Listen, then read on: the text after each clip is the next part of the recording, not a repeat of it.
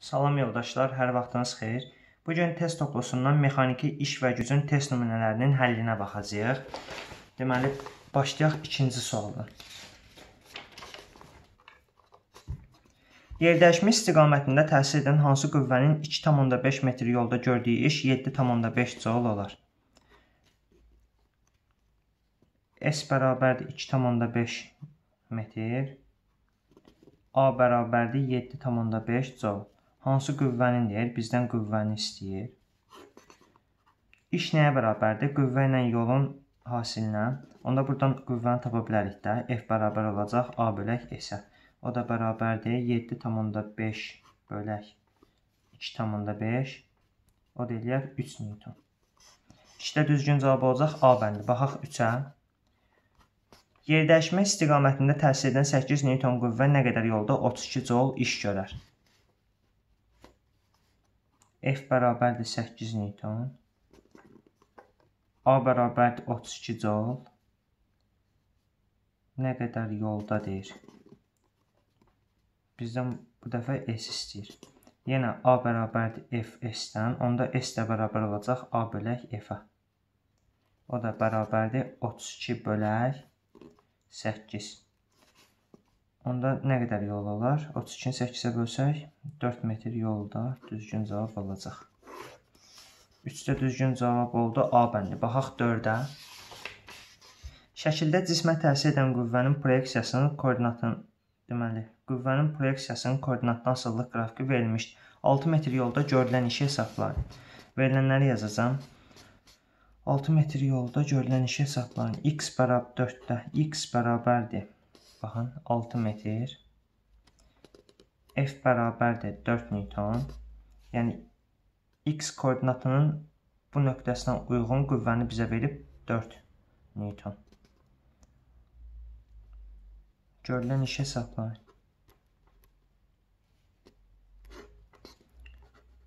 İş nəyə bərabərdir?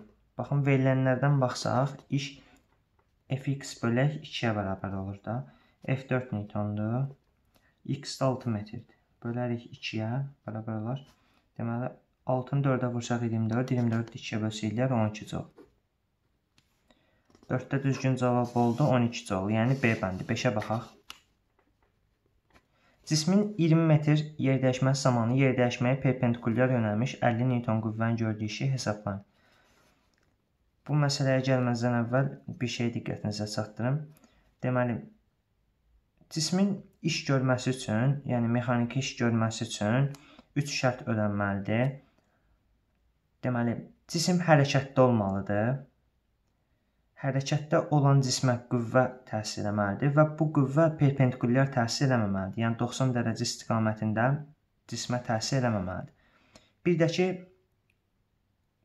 qapalı trayektoriyada görülən iş e, sıfıra bərabərdir.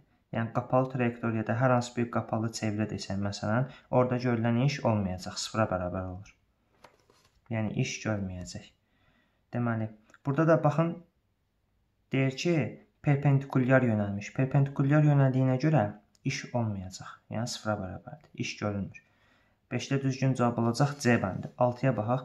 20 sm radiuslu çevrə üzrə bərabər çevrə üzrə hərəkətdə maddi nöqtəyə təsir edən qüvvələrin əvəzləşicisi 3 Newtondur. Baxın burada da yenə dediyim kimi müəyyən radiuslu çevrə üzrə hərəkət eləyir. Yəni çevrənin özü də qapalı trayektoriya olduğuna görə qapalı trayektoriyada görülən iş sıfıra bərabər olur.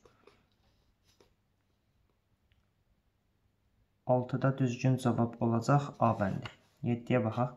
Kütləsi 50 kiloqram olan cisim üfüqi səthdə hərəkət edir. Sürtünmə misalının 0,102 olduğunu bilərək 100 metr yolda sürtünmə qüvvəsini gördüyü işi hesablayın.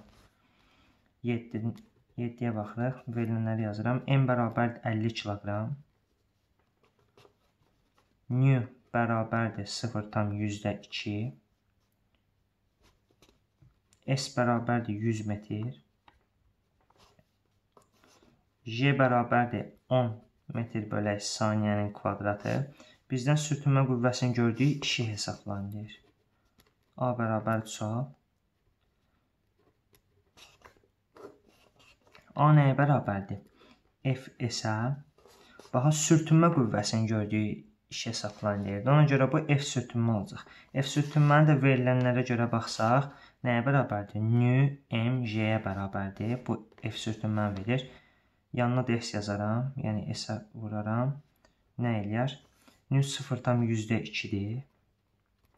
Vuraq M 50-dir. J 10-dur. S nə qədərdir? S də 100-dür.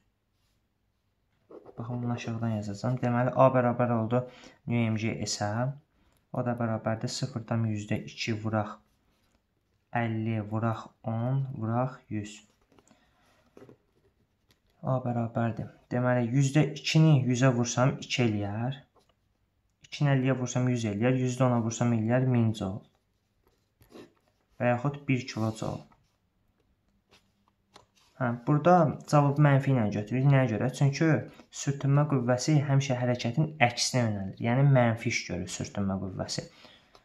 Ona görə 7-də düzgün cavab olacaq A bəndi. 8-ə baxaq. Kütləsi 5 kiloqram olan cisim 20 metr hündürlükdən düşərək yerə dəyir və 18 metr hündürlüyə qalxır. Ağırlıq qüvvəsinin işini hesablayın. 8-ə baxırıq.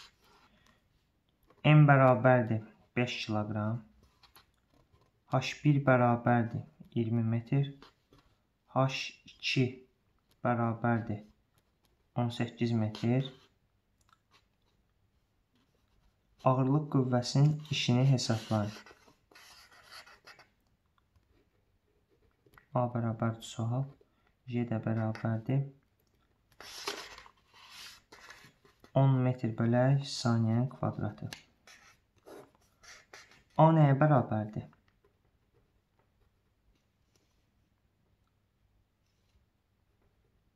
A bərabərdir. Verilənlərə görə baxsaq, MJ H2 çıxaq H1-ə. O da bərabərdir. MJ H2 18-də H1 20. Yəni 18 çıxaq 20. Bunları düz yazdım da. 20 metr hündürlükdən H1, H2-də 18 metr. O da bərabərdir mənfi 2mj-yə. İş nəyə bərabər olur onda? M 5 kiloqramdır, J 10-dur. MJ deməli 50 oldu. 50-ni də vuraram mənfi 2-yə. 50-ni də vuraram mənfi 2-yə. Eləyər mənfi 100 jol. Mənfi 100 jol. 8-də düzgün cavab oldu B bəndi. 9-a baxaq.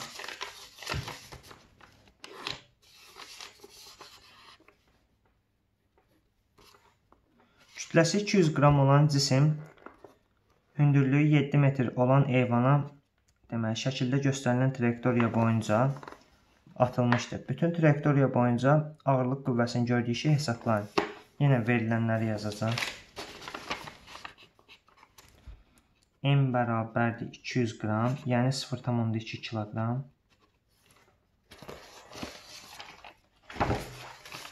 Verilənləri oxuyub yazacağım. Deməli, M bərabər oldu 0,2 0,12 kiloqram. H1 bərabərdir 7 metr. H2 nə yazacağam? 0 metr. Yəni 0 yazacağam. Çünki yerə dəyir. Şəkildən görsəz, baxın, yerə dəyir burada. H1 7 metrdir. H2 düşdü. Nöqtə baxın 0.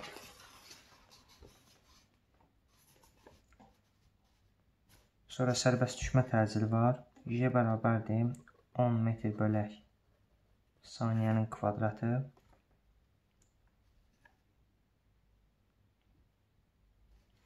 Ağırlıq qüvvəsinin gördüyü şey hesablayın. Bu qədər. Verilənlər bu qədərdir. Yenə ağırlıq qüvvəsini burada verilənlərə görə yaza bilərəm də. MJ H2 çıxaq H1 nəyə bərabərdir? M 0,2-dir. Ona vursam Yoldaşlar, burada 0,2 kiloqramı 1000-ə vursam 200 qram eləyər. Hədə düz yazmışam. Burada heç bir problem yoxdur. MG nə qədər olar? 0,2-ni vursam ona eləyər 2. 2 vuraq. 0 çıxaq 7. 0-dan 7 çıxsaq nəyi verər bizə? Mənfi 7-ni verər də. O da eləyər mənfi 14 joule. 9-da da düzgün cavab olacaq D bəndi. Baxaq ona.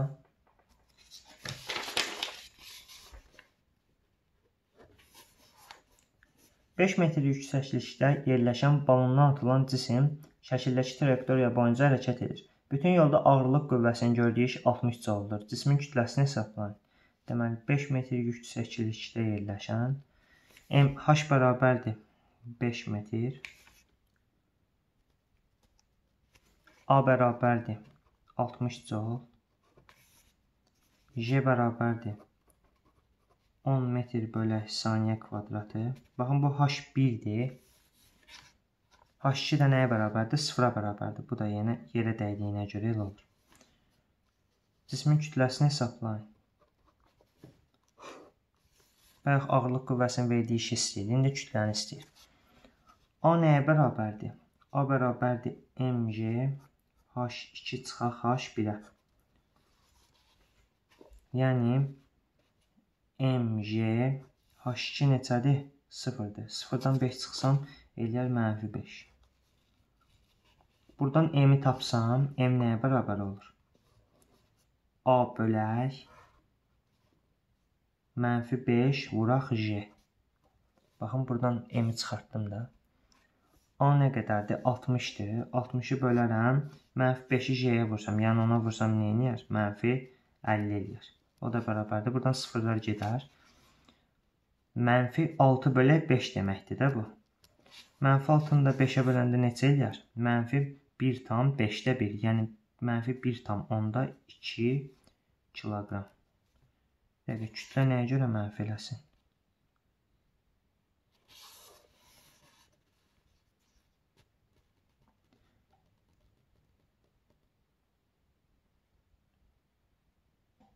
Burada əslində cavab tapmışam sadəcə. Bunu başqa yolla eləyirəm. Deməli, A bərabərdir mg h2 çıxaq h1. Bunu başqa yolla bir yazıram. Deməli, biraz vaxt itkisi oldu. Özürlü sayın. Ona baxırıq. Deməli, h1 bərabərdir 5 metr. H2 bərabərdir 0. A bərabərdir 60 joule. J bərabərdir 10 metr bölək saniyə kvadratı. Bizdən nə istəyirdi? M istəyirdi.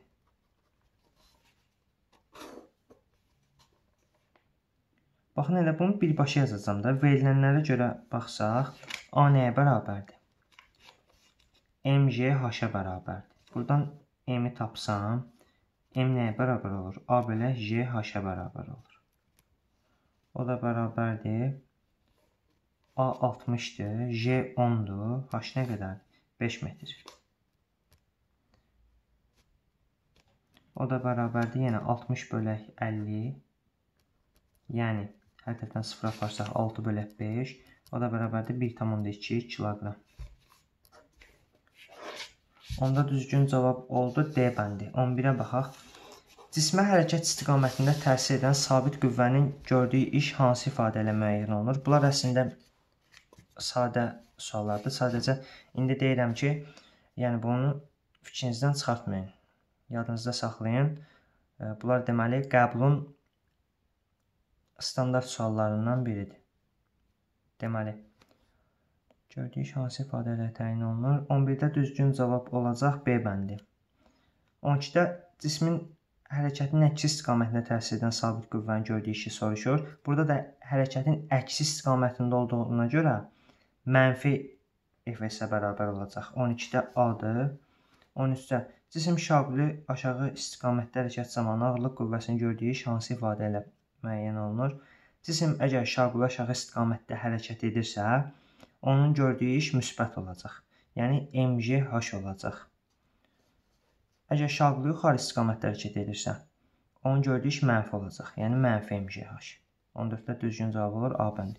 Baxaq 16-ya. Newton vuraq metr ifadəsi hansı fiziki cəmiyyətin vahidinə uyğundur? Newton vuraq metr. nəyə bərabərdir? Newtonu mən e, Newton kəmiyyətini parçalasam, kiloqram vuraq metr bölək saniyə kvadratı vuraram metrə. Bu nəyə bərabər olar? Kiloqram vuraq metr kvadratı bölək saniyə kvadratı. Bu bizə nəyi verər?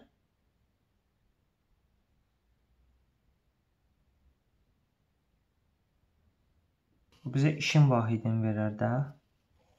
Baxın, bu hazır bir şeydir. Bunu başqa cür yazacağam. Newton vuraq metr. Yəni bu da səhv deyil ha. Bu beynəlxalq sistemdə sadəcə bunu birbaşa tapmadım da. Burdan açıb baxdım. Yəni burada ə, belə deyim, Siz bunu açanmasanız bu ifadəyə gətirənməyəsiniz. Yəni bu bu cür tapmaq üçün, yəni beynəlxalq əsas vahid, beynəlxalq sistemdə əsas vahidlərlə ifadə etmək üçün bu cür yazasınız.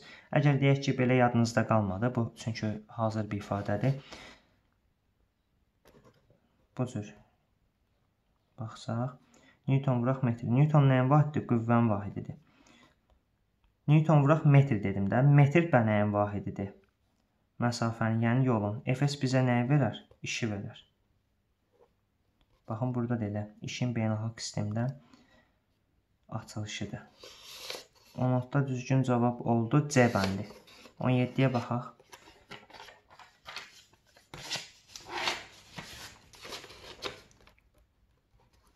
Kiloqram vuraq metr kvadratı bölək saniyə kvadratı. Baxın, elə bayaq mən yazdığım idi də kiloqram vuraq metr kvadrat bölə saniyə kvadrat. Hansı fiziki cəmiyyətin vahidinə uyğundur? İşin vahidinə uyğundur. 17-də düzgün cavab olur Y bəndi. 18-ə baxaq. 18 də eynisidir. Kiloqram vuraq metr kvadrat bölə saniyə kvadratdır. A bəndi. 19-a baxaq. Hansı cihazların köməkli elastiklik qüvvəsinin işini müəyyən etmək olar? Deməli, A bərabərdir. F elastikliyi vuraq S-ə. Qüvvə F Qüvvəni nə ölçür? Dinamometr ölçür. Bir də S var. Yolu da xəttkeşlə ölçmək olar da. 19-da düzgün cavab olacaq 1-dən 2. Yəni Y bənd. 20-yə baxaq. 20-də də eyni sualdır. Dinamometrlə xəttkeş olacaq. Yəni C bəndi. 21-ə baxaq. Cismə təsir edən qüvvə ilə onun yer dəyişməsi arasındakı bucağın hansı qiymətində qüvvənin işi sıfıra bərabərdir? Bayaq dedim ki, əgər cismə qüvvə perpendikulyar təsir edirsə, yəni 90 dərəcə bucaq altında təsir etsə, qüvvənin işi sıfıra bərabər olur. 21-də düzgün cavab olacaq C bəndi. 22-yə baxaq. Cismə təsir edən qüvvə ilə onun yer dəyişməsi arasındakı bucağın hansı qiymətində qüvvənin işi mənfi olur. Baxın, bu deməkdir də. Burada hansı bucağın qiymətində qüvvənin işi mənfi olur deyir. Yəni, qüvvənin istiqamətləri əksinə olur. Bu da bizi neçə dərəcə açır? 180 dərəcə buzaq açır da. 22-də düzgün cavab olacaq C bəndi. 23-ə baxaq. Yerdə müəyyən hündürlükdə olan cismin hansı trayektoriya üzrə hərəkətində ağırlıq qüvvəsinin gördüyü iş minimum olur. Baxın, bayaq deməli, qapalı trayektoriyada görülən iş sıfıra bərabər olur. Onda bütün işlər sıfıra bərabər, bərabər olacaq. Yəni və bir-birinə bərabər olacaq da. Bayaq dedim ki, qapalı trayektoriyada iş görülmür. Yəni hamısı sıfıra bərabərdir. Hamısı sıfır olduğuna görə də bütün hallarda görülən iş eynidir. Yəni sıfırdır. 23-də düzgün cavab oldu D bəndi. 24-də baxaq. Cismə təsir edən 5 qüvvənin və cismin sürətinin istiqaməti göstərilmişdir. İş görməyən qüvvənin istiqaməti hansıdır? Perpendikulyar yönəldiyinə görə 4 nöqtəsi iş görmür. Yəni D bəndi. 25-ə baxaq. Cismə təsir edən 5 qüvvənin və cismin sürətinin istiqamətləri göstərilmişdir. Hansı qüvvənin işi sıfıra bərabərdir? Yenə perpendikulyara baxırıq. 3 nöqtəsi uyğun gəlir. 25-də düzgün cavab olur C bəndi. 26-ya baxaq. Üfüqi səthdə düz xətli bərabər sürətlə hərəkət edən cisim üzərində dartı qüvvəsinin işi 24 joule olarsa, sürtünmə qüvvəsinin işi nəyə bərabərdir? Sürtünmə qüvvəsi həmişə hərəkətin, yəni dartı qüvvəsinin əksinə yönəldiyinə görə mənfi 24 joule bərabər olacaq. 26-da düzgün cavab D bəndi. 27-yə baxaq. 27-də də əksi əksin verib də 26-nın əksidir. Burada sürtünmə qüvvəsinin işini verib, bizdən dart qüvvəsinin işini soruşur. O da 60 joula bərabər olacaq, yəni Y bəndi. 28-ə baxaq. Müsbət iş görən qüvvənin istiqamətini göstərin. 0 dərəcə olmalıdır. Yəni impulsun bir nöqtədə yönəlməlidir müsbət iş görmək üçün. 28-də düzgün cavab olacaq B bəndi. Deməli, baxaq 29-a. Mənfi iş görən qüvvənin istiqaməti yenə 180 dərəcə olmalıdır. O da 1 nöqtəsinə uyğundur. Baxın, impuls sağ tərəfə 4 nöqtəsinin istiqamətdədir, amma bizdə deməli mənfi iş görən qüvvənin istiqamətini istəyir, yəni 1 nöqtəsi. 29-da düzgün cavab olur A bəndi. Kütləsi 1 kiloqram olan cismin yer dəyişməsinin zamanlı asıllığı bu şəkildədir. İlk 2 saniyə ərzində cismə təsir edən əvəzləyici qüvvənin işini hesablayın. Verilənləri yazıram. M bərabərdir 1 kiloqram. Sx bərabərdir 10t üstə gələk t kvadratı İlk 2 saniyədir. T bərabərdir 2 saniyə. Əvəzləyici qüvvənin işini hesablayın. Baxın. A nəyə bərabərdir? A bərabərdir Fs-dən. O da bərabərdir. M var. A-nı buradan tapa bilərəm də.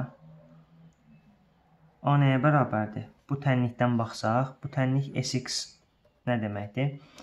Deməli, Sx bərabərdir Vt üstə gələk At kvadrat bölək 2. Yəni A-nı 2-yə bölsək, bizə t kvadratın əmsalını verər, yəni 1-i verər. Onda A nəyə bərabər olacaq? 2 metr bölək saniyənin kvadratına bərabər olacaq. M də 1-dir. MA S o da bərabərdir. M M 1-dir, A da 2-dir. M 10-da 2 eləyər. S nə qədər eləyəcək? Baxın, T 2 saniyədir. 2-ni vuraram 10-a. Eləyər 20, üstünə gələrəm 2-nin kvadratı, 24. Onda A nə qədər olacaq? 48 joule olacaq. 30-da düzgün cavab oldu C bəndi. 31-ə baxaq.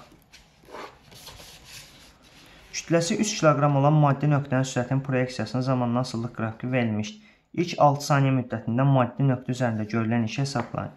Yenə M bərabərdir 3 kiloqram, T bərabərdir 6 saniyə, A bərabərdir sual. V də bərabərdir 6 metr bölək saniyə. A nəyə bərabərdir? A bərabərdir Fs-dən. Buradan indi A-nı yenə tapa bilərəm də mən. A nəyə bərabərdir? A bərabərdir V bölək T-dən, yəni 6 bölək 6 bərabərdir 1 metr bölək saniyə kvadratı. Deməli, A-nı 1 tapdıq, M-də 3-dür. 3-ü 1-ə vursaq eləyər 3. Yəni, M-A-S bərabərdir 3 vuraq. S nə qədərdir? S-in də düsturu məlumdur da. S də bərabərdir V-T bölək 2.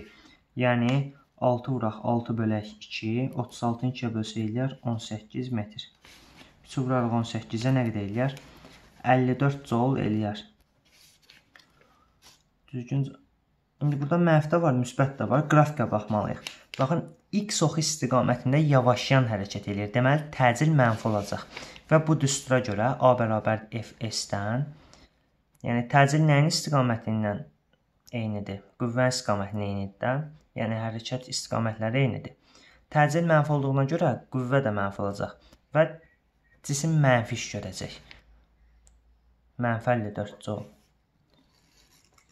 31-də düzgün cavab oldu B bəndi. 32-yə baxaq.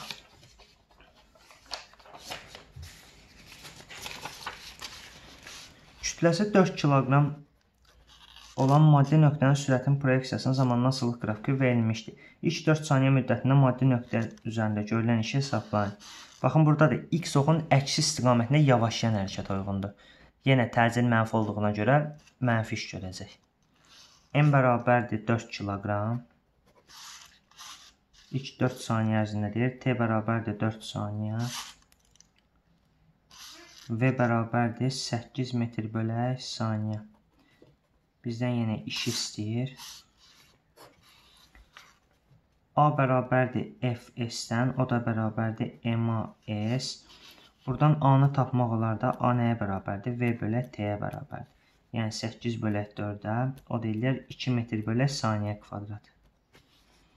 Deməli, M-i A-ya vursaq, 4-ü 2-yə vursaq, yəni eləyər 8. S-i də buradan tapsaq, S nəyə bərabərdir? VT bölək 2-yə bərabərdir. Yəni 8 vuraq 4 bölək 2. O da eləyər 16 metr. 8-i 16-ya vursaq nə qədər eləyər? 80, 48, mənfi 128 joule eləyər. Baxın, mənfini yenə deyirəm, bu qrafikə görə yazdım. Təcil mənfi olduğuna görə cisimdə mənfi iş görür. Yəni, mənfi 128 joule, 32-də düzgün cavab olacaq B bəndi. 33-ə baxaq. Kütləsi 500 qram olan cismin yerdəyişməsinin zamanlı asıllığı deməli verilib. Hərəkətə başlayandan nə qədər vaxt sonra cismə təsir edən vəzləyici qüvvət qüvvə 64 joule iş görər. M nəyə bərabərdir? 500 qram 0,5 kiloqramdır da. Sx bərabərdir 2t-nin kvadratı. Nə qədər vaxt sonra cismə təsir edən əvəzləyici qüvvə 64 joule olur. T-ni bizdən istəyir. A da bərabərdir 64 joule. Verilənləri yazdım, indi həll eləyəcəm. Deməli, A bərabərdir F-S-dən o da bərabərdir M-A-S. Deməli, buradan A-nı tapsam, A nəyə bərabərdir? Baxın, bu tənlikdən baxsam, S bərabərdir AT kvadrat bölək 2-yə. Yəni, T kvadratın qarşısındakı əmsal nəyə bərabərdir? 2-yə bərabərdir. Yəni, A bölək 2 2-dirsə, onda A nəyə bərabər olacaq? 4 metr bölək saniyənin kvadratına bərabər olacaq. EMA 4-ü vuraram 0,5 deməli eləyər 2. S-i də buradan taparam. Sadəcə bu bizə heç nəyi verməyəcək də, çünki bizdən zamanı istəyir burada. Biz buradan zamanı tapmalıyıq. Ona görə mən 33-ü təzədən yazacağam.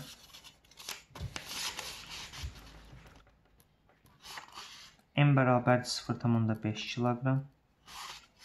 Sx bərabərdir 2t-nin kvadratı. T bərabərdir sual. A bərabərdir 64 joule. S nəyə bərabərdir? Bu tənlikdən baxsaq, AT kvadrat bölək 2-yə bərabərdir. Onda A-nı buradan tapa bilərəm də. A 4-ə bərabər olmalıdır ki, baxın 4 metr bölək saniyə kvadratı. 4 2-yə bölünsün 2 qalsın. Yəni 2t kvadrat qalsın. Baxın, A-nı buradan tapdıq 4 metr bölü saniyə kvadrat. Onda A bərabərdir F-S-dən, o da bərabərdir M-A-S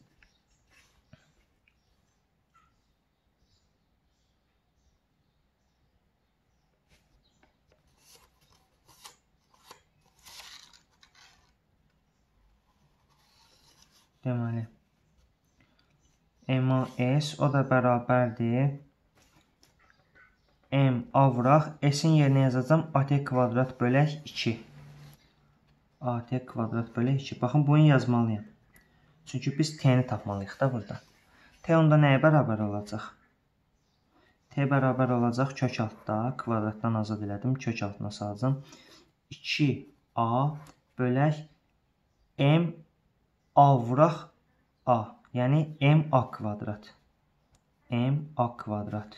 O nəyə bərabər olacaq? a kvadrat mötərizədən mötərizə xaricinə çıxarsaq, 1 bölək a şəklində çıxacaq. Qalacaq kök altda 2a bölək m. Gətirib buradan yazıram. Kök altda a nə qədərdir? Baxın, buradan davamını yazıram bunu.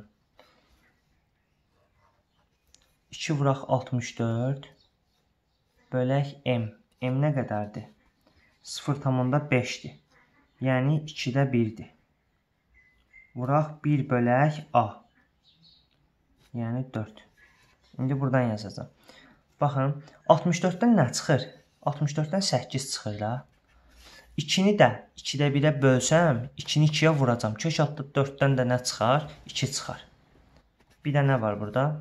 Mötərizə kənarında 4-də 1 var. 8 ilə 4-ü aparsam burada 2 qalar. 2 ilə vuraram 2 eləyər 4 saniyə. 33-də düzgün cavab olacaq 4 saniyə, yəni C bəndi.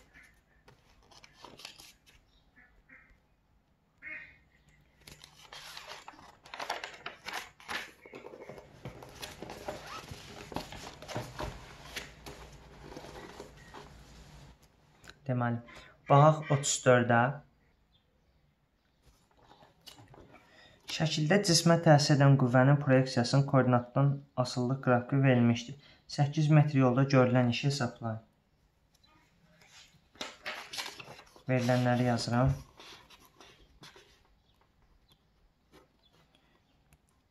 F bərabərdir 10 newton. X bərabərdir 8 metr. Sonra burada A-nı istəyir bizdən, yəni işi. Buradan deməli, işin düsturunu yazsam, iş nəyə bərabər olacaq? Qrafikdən görünür ki, diaqramdan görünür ki, fiqurun sahəsinə bərabər olacaq. Yəni S fiqur. O da nəyə bərabərdir? Trapesiyanın sahəsidir. Trapesiyanın sahəsini bilirik. A üstə gələk B bölək 2 vuraq H. Burada A ilə B oturacaqlardır alt oturacaqla üst oturacağın cəminin yarısının hündürlüyə hasili. O da bərabərdir. A nə qədərdir? Baxın, 0-dan 8-ə alt oturacaq. 8 metrdir. Üstünə gələrik, üst oturacaq. 8-dən 3 çıxarıq 5. Bölərik 2-yə, vurarıq hündürlüyə, yəni 10-a. O da bərabərdir. 13 vuraq 5. A da bərabər olacaq 65 joule. 34-də düzgün cavab oldu Y bəndi. 35-ə baxaq. 35-də deyir, joule bölək metr kvadratı hansı fiziki kəmiyyətin vahidinə uyğundur. Baxın, joule mən burada nə ilə əvəz eləyə bilərəm? Joule-un özü nəyə bərabərdir? Newton vuraq, metrə bərabərdir. Onu da indi metr kvadratına bölsək, burada metr kvadrat aparar, qalar Newton bölək metr. Newton bölək metr Nəyin vahididir? Newton bölən metr qaldı. Newtonda parçalasam, kiloqram vuraq metr bölək saniyənin kvadratı. Baxın, bunu dediyim kimi, bunu bir dəfə demişəm. Kiloqram vuraq metr bölək saniyə kvadratı bu özü bir ifadədir də. Yəni surətdəki ifadədir. Onu da m-ə böləndə m-i yuxarı yazmayacağam. Gətirib məxrəcə yazmalıyam. Metrlər gedər, qalar kiloqram bölək saniyə kvadratı. Kiloqram bölək saniyə kvadratda bizə nəyi verər? Kiloqram bölək e, saniyə kvadratı bizə sərtliyi verər də.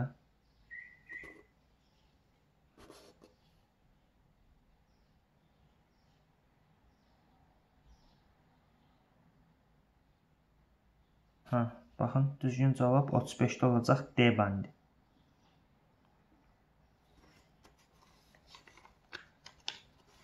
Baxaq 36-ya.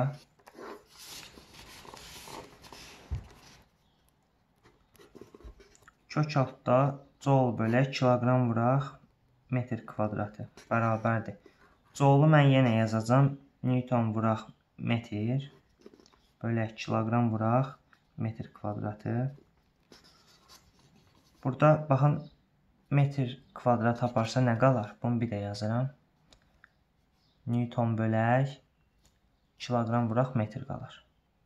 Kiloqram vuraq metr. O da bərabərdir. Newtonun özünü yazaram. Kiloqram vuraq metr bölək saniyə kvadratı.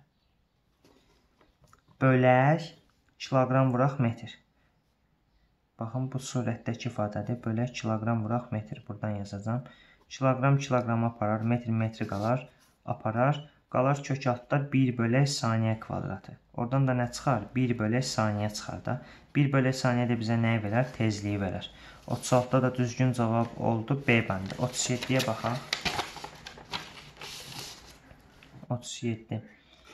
Kök altda kiloqram vuraq metr kvadratı bölək joule nəyə bərabərdir? Baxın, burada tərsinə verib də 1 bölək saniyə idi. Burada da saniyə olacaq. Saniyə də nəyin vahididir? periodun vahidi də Y bəndi. Yenə də yazaq. Deməli, kiloqram vuraq metr kvadratı bölək. Joule yazaram Newton vuraq metr bərabərdir. Kiloqram vuraq metr kvadratı bölək. Newtonu yazacam kiloqram vuraq metr bölək saniyə kvadratı. Vuraq metr bərabərdir. Baxın, Burada kiloqram kiloqram aparar. Metri metrə vursaq metr kvadratı aparar metr kvadratını. Aşağıdakı saniyə kvadratda surətə keçmiş orada. Çünki burada böləkdir. Newtonun özü burada bu ifadənin özü Newtona bərabərdir. Yəni bunu bölsək, saniyə kvadratı burada surətə keçəcək. Qalacaq kök altda saniyə kvadratı. Ondan da saniyə çıxar. O da bizə nəyi verər? Periodu verər. Periodun vahidi saniyədir. 37-də düzgün cavab oldu Y bəndi. 38-ə baxaq.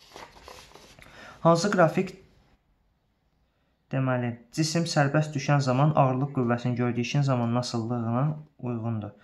Deməli 38-də cisim əgər sərbəst düşürsə, işi yaza bilərik də mgh, o da nəyə bərabərdir? Onu t ilə əlaqələndirməliyik. Deməli yazaram ki, mg h-ın yerinə nə yazaram? gt kvadrat bölək 2 yazaram. T ilə əlaqələndirmək üçün. A burada T ilə necə asılı olacaq? Kvadratik düz mütənasib asılı olacaq. 38-də düzgün cavab oldu Y bəndi. 39-a baxaq. Sabit F dartı qüvvəsinin işinin zamanı asıllıq qrafikləri verilmişdir. Hansı qrafik düz xətli bərabər təcilli hərəkətə uyğundur? Burada da düz xətli bərabər təcilli hərəkət və A-nı T-dən əlaqələndirməliyik. Bu hərəkət üçün baxsaq, A nəyə bərabərdir? A-nı yazaram Fs, o da bərabərdir F vuraq. İndi S-i T ilə əlaqələndirəcəm. S nəyə bərabərdir? AT kvadrat bölü 2-yə bərabər. Burada A yenə də T ilə düz mütənasib kvadratik asılı oldu. Yəni 39-da da düzgün cavab olmalıdır. C bəndi. Baxaq 40-a. Sabit dartı qüvvə Sabit dartı qüvvəsinin gördüyü işin zamanı asıllıq qrafikləri verilmişdir. Hansı qrafik düz xətli bərabər süətli hərəkətə uyğundur?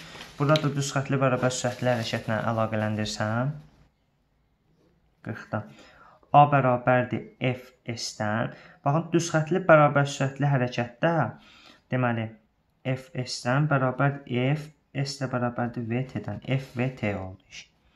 Deməli, düz xətli bərabər süətli hərəkətdə Deməli, A T-dən nə cür asılı oldu?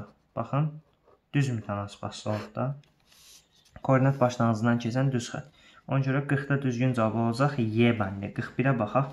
Yer səthindən müəyyən hündürlükdə M kütləli peş dairəvi orbit üzrə hərəkət edən zaman 3/1 period ərzində ağırlıq qüvvəsinin işi nəyə bərabərdir? Baxın, burada da yenə ə, M kütləli peyk dairəvi orbit üzrə hərəkət edir. Yəni qapalı trayektoriyada hərəkət edir. Ona görə də iş sıfıra bərabər olacaq. Yəni 41-də düzgün cavab C variantı olur. 42 də eynisidir. 43-ə baxaq. 30 sm radiuslu çevrə üzrə bərabər sürətli hərəkətdə maddi nöqtəyə təsir edən qüvvələrin əvəzləyicisi 5 newtondur. 2 tam dövrə dövrdə əvəzləyici qüvvənin gördüyü işi hesablayın. 43-də də yenə deməli çevre üzrə hərəkət elədiyinə görə qapalı trayektoriyadır və iş sıfıra bərabər olur.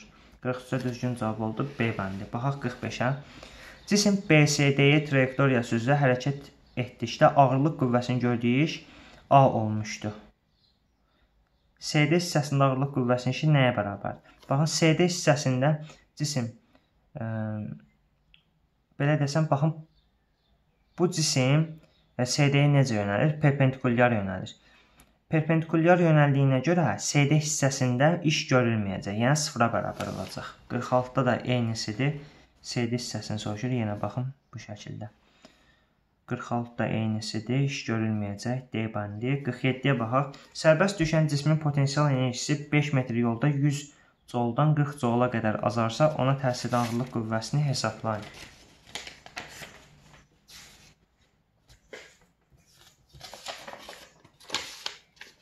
Deməli biz 47-yə baxırdıq.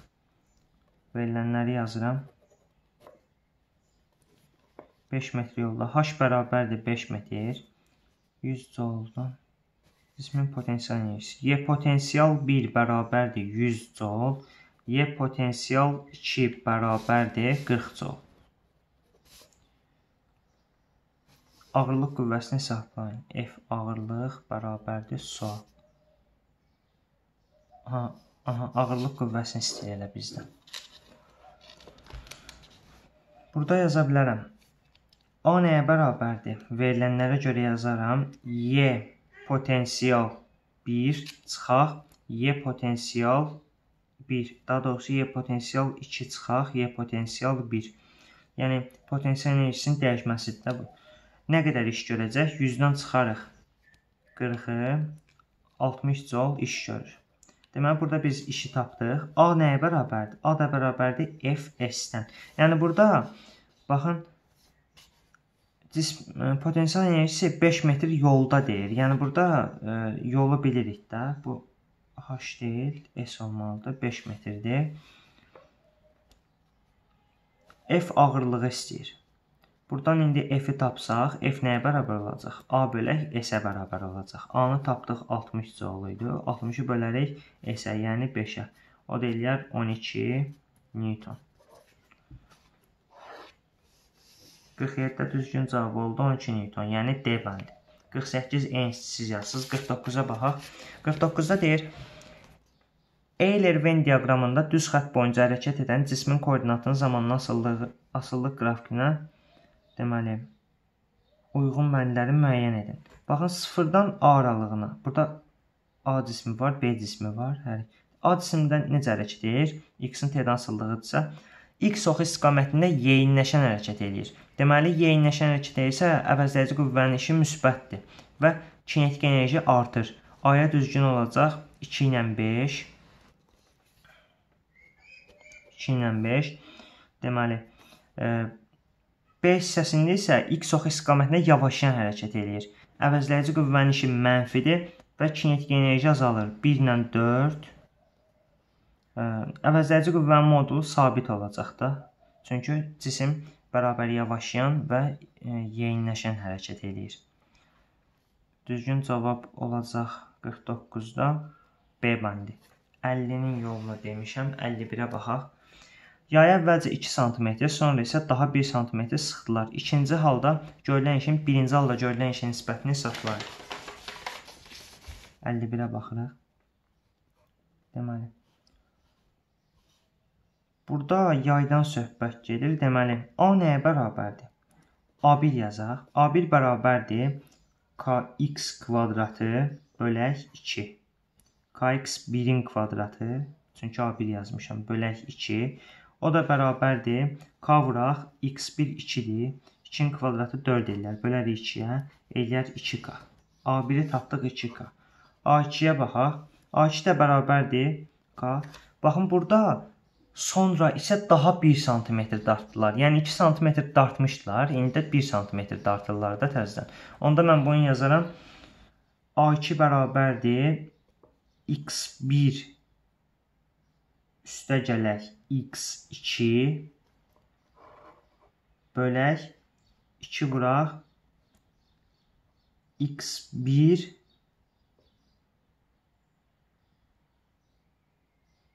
Yox, elə bölək 2 olacaq da. Ha, bölək 2 olacaq. Çünki burada deyir ki, 1 sm-də dartdılar. Toplayırıq, məxrəcdə də 2 yazırıq. Yəni bölürük 2-yə. Bərabərdir. Baxın, Burada 2K'dır.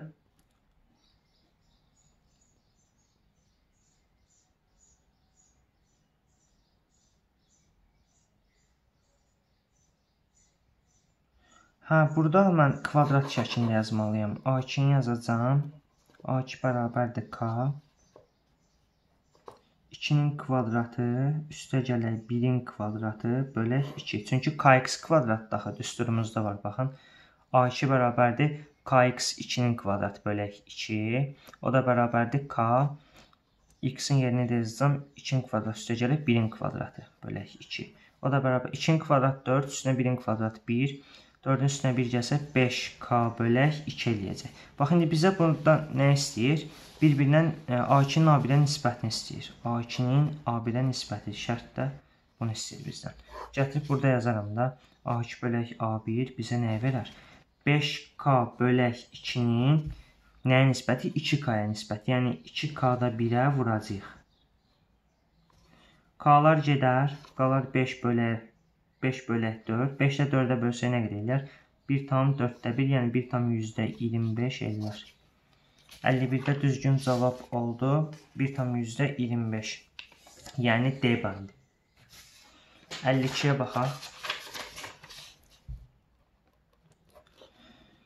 100 metr bölə saniyə sürətlə uçan mərminin dəlib keçə bildiyi divarın qalınlığı 0,4 metrdirsə, 200 metr bölə saniyə sürətlə malik 200 metr bölə saniyə sürətə malik mərmi hansı ən böyük qalınlıqda divarı dəlib keçə bilər? Baxın, verilənləri yazıram. 2 dənə sürət var. V1 bərabərdir 100 metr bölə saniyə. Dəlib keçə bildiyin divarın qalınlığı. Divarın qalınlığı desək, bunun diametri nəzərdə tutulur. D1 bərabərdir 0,4 metr. V2-ni veribdir. 200 metr bölək saniyə. Bizdən həmən sürətin bu qiymətinə uyğun divarı soruşur da, yəni D2-ni bizdən soruşur. Bərabərdir sual. F-də nəyə bərabərdir? F-də bərabərdir MV kvadratı bölək 2-yə.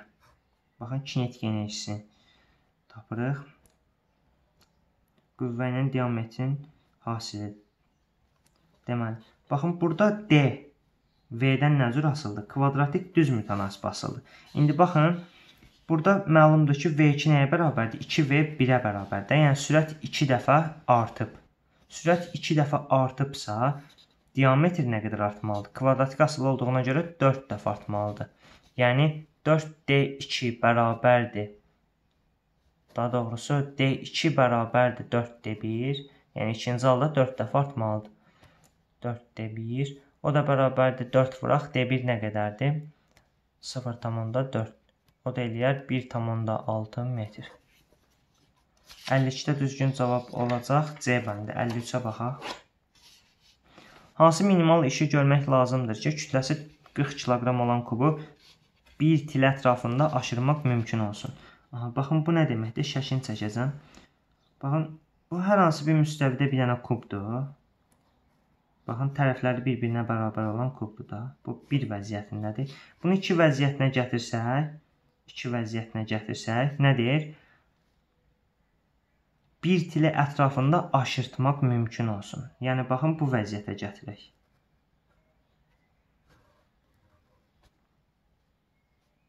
İndi bu kubdur da nə qədər oxşamasa da bu vəziyyətə gətirsə, burada indi biz bunun hündürlüklərini bilməliyik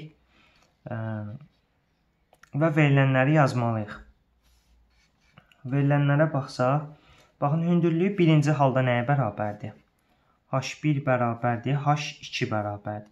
İki vəziyyətində baxsaq,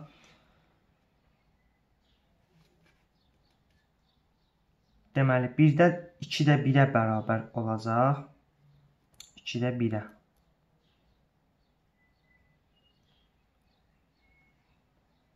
H2 nəyə bərabər olacaq? Baxın, diametrinin yarısına. Diametri qəbul eləsək, bu tərsinə aşır baxı. Ona görə, baxın, bu qədər. Diametrin yarısına nisbət olacaq. Yəni, D bölək 2. O da nəyə bərabərdir? Diametri kök 2-yə bərabərdir də. Kök 2 bölək 2-yə. Onda biz buradan Deməli, A-nı tapsaq, A nəyə bərabərdir? A bərabər olacaq mg h2 çıxaq h1 bərabərdir. mg nə qədərdir? Verilənləri bura yazmayacağam, yer çatmayacaq. m 40 kiloqramdır, j-də 10 400. 400-ü bıraq, h2, h2 çıxaq h1. Kök 2 bölək 2 çıxaq, h1-də 2-də 1 idi də. Baxın bu ciz bu vəziyyətdə olduğuna görə. O da bərabərdir. 400-ü vuraram neçəyə? Baxın, 2-də kök 2-dən 2-də 1 çıxmaq nə deməkdir? Elə bunu birbaşa yazacağam. 2-də kök 2 çıxaq 1 deməkdir. Yəni bunu bu cür yaza bilərəm də. A da bərabər olacaq. 400 vuraq. Kök 2-ni nə qədər verib bizə? 1,4 verir. 1,4-dən 1 çıxsaq nə qədər eləyər? 0,4 eləyər. 0,4 2-yə bölərik. Eləyər 400 vuraq. Onda 2. Çünki 0,4-ü 2-yə bölsək, bizə 12 verər. 400-də 10-da 2-yə bölsək nə qədər eləyər? 80 joule eləyər. 53-də də düzgün cavab olacaq Y bəndi. 54-ə baxaq. Kütləsi 10 kiloqram olan daşı 5 metr dərinliyindən suyun səthinə bərabər sürətlə çıxarmaq üçün nə qədər iş görmək lazımdır? Deməli, m bərabərdir 10 kiloqram, h bərabərdir 5 metr. Nə qədər iş görmək lazımdır? A bərabər sual verilənləri yazıram. Rho su, suyun sıxlığı 1000 kiloqram bölək metr kubudur. Daha nə var? Daşın sıxlığı var. Rho daş bərabərdir 2500 kiloqram bölək metr kubu. Sonra buradan sərbəst hükmə tərzi J də bərabərdir 10 metr bölək saniyənin kvadratı. Bizdən burada deməli nə qədər iş görmək lazımdır? İşi soruşur. A bərabərdir F S-dən. Burada verilənlərlə əlaqələndirsəm, deməli Baxın, buradan həcm nə, V nəyə bərabərdir? V bərabərdir M bölək rho. mg nəyə bərabərdir? mg də bərabərdir F üstəgələk F Arximed. Baxın, çünki burada e, maye var da, rho su var. Onda buradan A-nı tapa bilərəm. A bərabərdir F H-a. O da bərabərdir mg çıxaq FH Baxın, bunu F-in yerinə yazıram da. MG çıxaq F. Əgər MG F üstə gələk F Arximeddirsə, F nəyə bərabər olacaq? MG çıxaq F Arximedə bərabər olacaq. Vuraq H. Burada yəni nəyə görə FH oldu, F sürtünmə, F S olmadı? Çünki burada elə yol nəyə bərabərdir? Hündürlüyə bərabərdir. Çünki biz Mayəyə batırılan cisimdə burada hündürlük elə on cismin getdiyi yol olacaq da. O da bərabərdir. Baxın, verilənlər bu qədər yerinə qoyub hesablayacağam. Deməli, mg çıxaq f arximet vuraq h. Buradan mg-ni tapsam, daha nə yaza bilərəm? Deməli, yazaram m, j, h çıxaq F Arximed H. A onda nəyə bərabər olar? A bərabər olar mg çıxaq rho su verilənlərlə əlaqələndirsəm. Rho su vuraq m bölək rho daş. Vuraq bu h yazacağam Baxın, F Arximedin yerinə yazdım da bunları. O da nəyə bərabər olar? MGH vuraq, MGH vuraq, 1 çıxaq, rho su bölək rho daş. Aşağıdan yazacağam. A bərabərdir. MGH vuraq, 1 çıxaq, rho su bölək rho daş. Yəni, MGH-ı mən bir dəfəni yazacağam da. MG M10-dur, J10-dur. 100 100 100 də vuraram 5-ə. H 5 metrdir. 500 vuraq. 1 çıxaq. Rosu nə qədərdir? 1000-dir də. Rosu 1000-dir. Bölərəm e, ro daşa, yəni 2500-ə.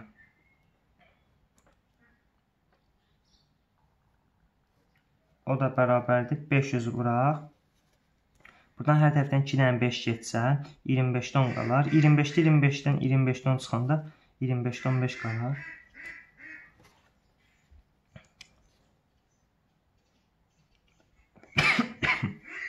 Özü istəyirəm. Deməli, 25-də vuraram 20 500-də vuraram 25-də 15-ə. Yəni buradan neçə eləyər? 200 eləyər. 525-ə bölsəm 20 eləyər daha doğrusu. 20-ni 15-ə vursam 300 col eləyər.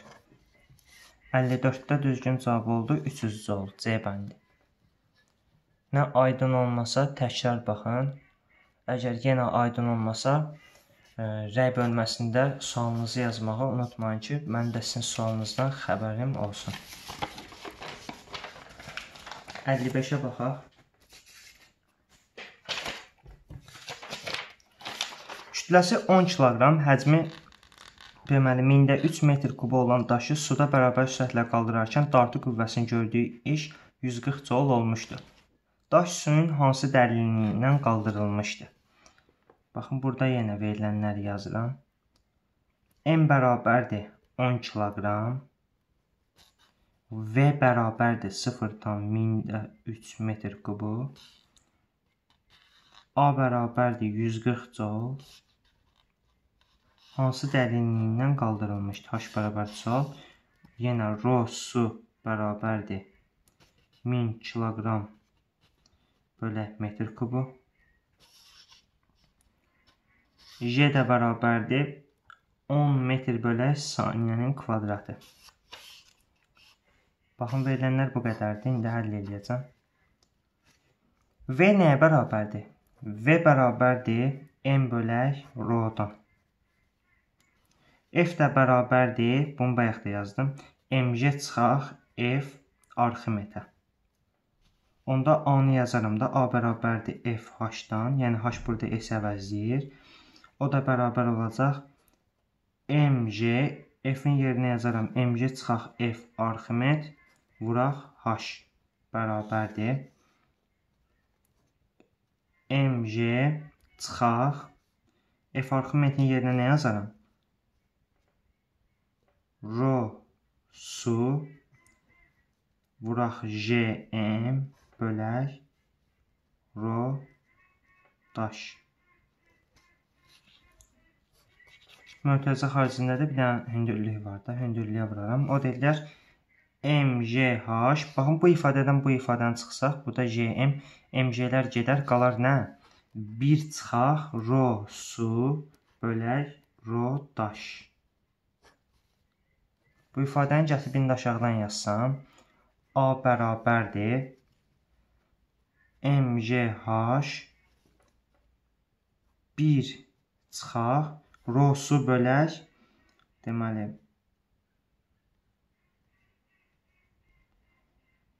Yoldaşın yerinə nə yaza bilərəm? M bölək V yazsam, burada belə bir şey alınacaq da. Baxın, MGH rho su bölək rho su yazıram rho su bölək rho daşın yerinə yazaram M bölək V şəklində yazsam rho su çünki bizə məlumdur, amma rho daş yoxdur. Rho daşı mən nə ilə əvəzləyə bilərəm? M bölək V-dir də. M bölək V. V yəni burada surətə gələcək. Düstur oldu bu şəkildə. O da bərabərdir MGH vuraq. 1 çıxaq. Rhosu nə qədərdir? 1000-dir. 1000 vuraq. V nə qədərdir? Baxın, burada məlum məsələdir ki, həcm burada 1000-də 3 metr kub olan daş olur daşın həcmi 1000-də 3 metr kub olacaq. Çünki baxın, burada həcmi verib deyir daşı suda bərabər sürətlə qaldırarkən. Yəni həcmi bu qədər olan daşı suda bərabər sürətlə qaldırarkən. Yəni bu daşın həcmidir. Nə qədərdir? 1000-də 3 metr kubudur. 0-dan 1000-də 3 metr kubu. Bölərik neçəyə? M-ə. M-də 10 kiloqram. Bu da nə deməkdir? MGH vuraq. 10-da 10 çıxaq. Baxın, 1000-də 3-ü 1000-ə vursaq neçə eləyər? 3 eləyər. Bu ifadə 10-da 3-ə gəldi də, 10-da 3-ə gəldi. 1 nə deməkdir? 10-da 10 deməkdir. 10-da 10-dan 10-da 3-ü çıxsaq bizə 10-da 7-ni verər. Deməli, MGH nə qədərdir onu tapaq. A bərabərdir. M 10-dur, J 10-dur. H bizə məlum deyil yazaram. Deməli, 10-la vursam 100H vuraq 10-da 7. Bizdən H istəyir də. Onda biz buradan H tapa bilərik. Yaxud elə yerinə qoyub yaza bilərəm. Baxın, A-nı 140 verib. 140 bərabərdir 100H vuraq 0,7. Onda h nəyə bərabər olacaq? Baxın, bura qədər yəqin ki, aydındır hər şey. Bayaqçı kimi gəlir. Gətirib burdan yazacağam. Baxın, Bu ifadənin davamını buradan yazacağam. 140 bərabərdir 100 h vuraq 0.7. Onda h nəyə bərabərdir? 140 bölək 100 vuraq 0.7 bərabərdir. 0.7-ni 100-ə vursam nə qədər eləyər? 70 eləyər. 140-da bölərəm 70-ə eləyər 2 metr. Nəhayət 55-də də düzgün cavab oldu 2 metr. Baxaq 56-ya. Cismi sürətinin modulunun zamanlı qrafiki verilmişdir. Qrafikin 1, 2 və 3 hissələrində əvəzləyici qüvvə, qüvvənin cism üzərində gördüyü A1, A2, A3 işləri üçün hansı münasibət doğrudur? Baxın, birinci halda 0-dan 1 nöqtəsinə qədər, yəni A1-də V-nin T-dan asılıq verib. Deməli, cisim X oxu istiqamətində düz xətli hərəkət edir. Düz xətli yeyinləşən hərəkət edir. Yəni, A sıfırdan böyük olacaq birinci halda. İkinci halda bərabər sürətlə hərəkət elədiyinə görə qüvvə sıfıra bərabər olur və ə, iş də sıfıra bərabər olacaq Fs düsturuna görə. Üçüncü halda isə x ox istiqamətində yavaşlayan hərəkət eləyəcək. Yəni mənfi iş görəcək. A1 sıfırdan böyük olmalıdır, A2 sıfıra bərabər olmalıdır və A3 sıfırdan kiçik olmalıdır. 56-da düzgün cavab olacaq B bəndi. 57 eyni sitdə 58-ə baxaq. X oxu boyunca hərəkət edən 2 kiloqram kütləli cismin sürətinin proyeksiyasının zamanlı asıllıq qrafiki verilmişdir. Əvəzləyici qüvvənin 40 saniyə müddətində cism üzərində gördüyü işi hesablayın. Deməli, burada bizdən yenə gördüyü işi soruşur. A nəyə bərabər olar? Baxın, V var, T var. Yazaram, bir də m kütləli cisimdir. Yazaram mv kvadratı bölək 2 çıxaq. mv sıfırın kvadratı bölək 2. O bizə nəyə verər? m 2-dir. v nədir? 20-dir. 20-nin kvadratı eləyər 400. Bölək 2 çıxaq. 2 vuraq. v sıfır nədir? 10-dur. Onun kvadratı eləyər 100 bölək 2 bərabər. Baxın, bu nə ikilər getsə 400 qalar. Çıxarıq. 2-lər gedər 100. Onda A nəyə bərabər olacaq? 300 joula bərabər olacaq. 58-də düzgün cavab olacaq C bəndi. 59-a baxaq. X oxu boyunca hərəkət edən 4 kiloqram kütləli cismin sürətinin proyeksiyasının zamanlı asıllıq qrafiki verilmişdir. Əvəzləyici qüvvənin 50 saniyə müddətində cism üzərində gördüyü işi hesablayın. Burada da yenə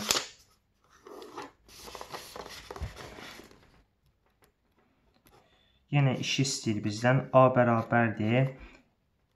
MV kvadratı bölək 2 çıxaq. MV sıfırın kvadratı bölək 2. O da nəyə bərabər olacaq? Baxın. V0 0 olduğuna görə V-si 20-dir bunun. V0 da 0. Bu ifadə 0-a gedir. Onda iş nəyə bərabər olur? MV kvadratı bölək 2-yə bərabər olur. Gətirib elə burada yazaram da. M 4-dür və 20-dir. 20-nin kvadratı eləyər 400. 400-ü bölərəm 2-yə, eləyər 2, 2-ni də vuraram 4 eləyər 800 joule. 59-da düzgün cavab oldu Y bəndi. 60-a baxaq. Cismə təsir edən əvəzləyici qüvvənin işi mənfi olarsa, onun impulsun proyeksiyasının zamanlı asıllıq qrafiki hansıdır? Baxın, əgər cismə təsir edən əvəzləyici qüvvə işi mənfi olarsa, cisim düz xətli bərabər yavaşlayan hərəkət edən düz xətli bərabər yavaşlayan hərəkət eləməlidir. Ya bu x oxu boyunca baş verməlidir, ya da x oxun əksi istiqamətində. Ya x oxu istiqamətində yavaşlayan, ya da x oxun əksi istiqamətində yavaşlayan olmalıdır. Baxın, yavaşlayan hərəkətə uyğunda 60-da düzgün cavab olur Y bəndi. 61-ə baxaq. 61-də deyir, üfüqi müstəvidə sükunət halından eyni F qüvvəsinin təsiri ilə hərəkətə başlayan cisimlər eyni yer dəyişmələr icra etmişdir. Onların kinetik enerjilərinin nisbətini hesablayın.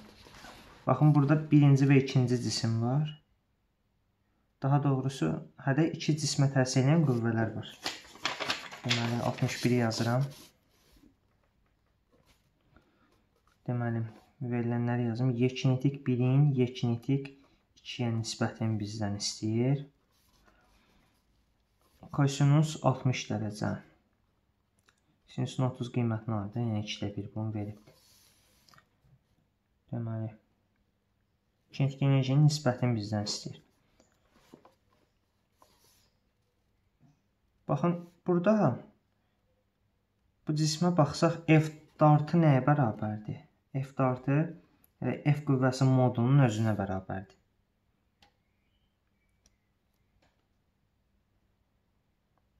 Baxın, burada bir dartı qüvvəsi var da, şaquli yuxarı doğru.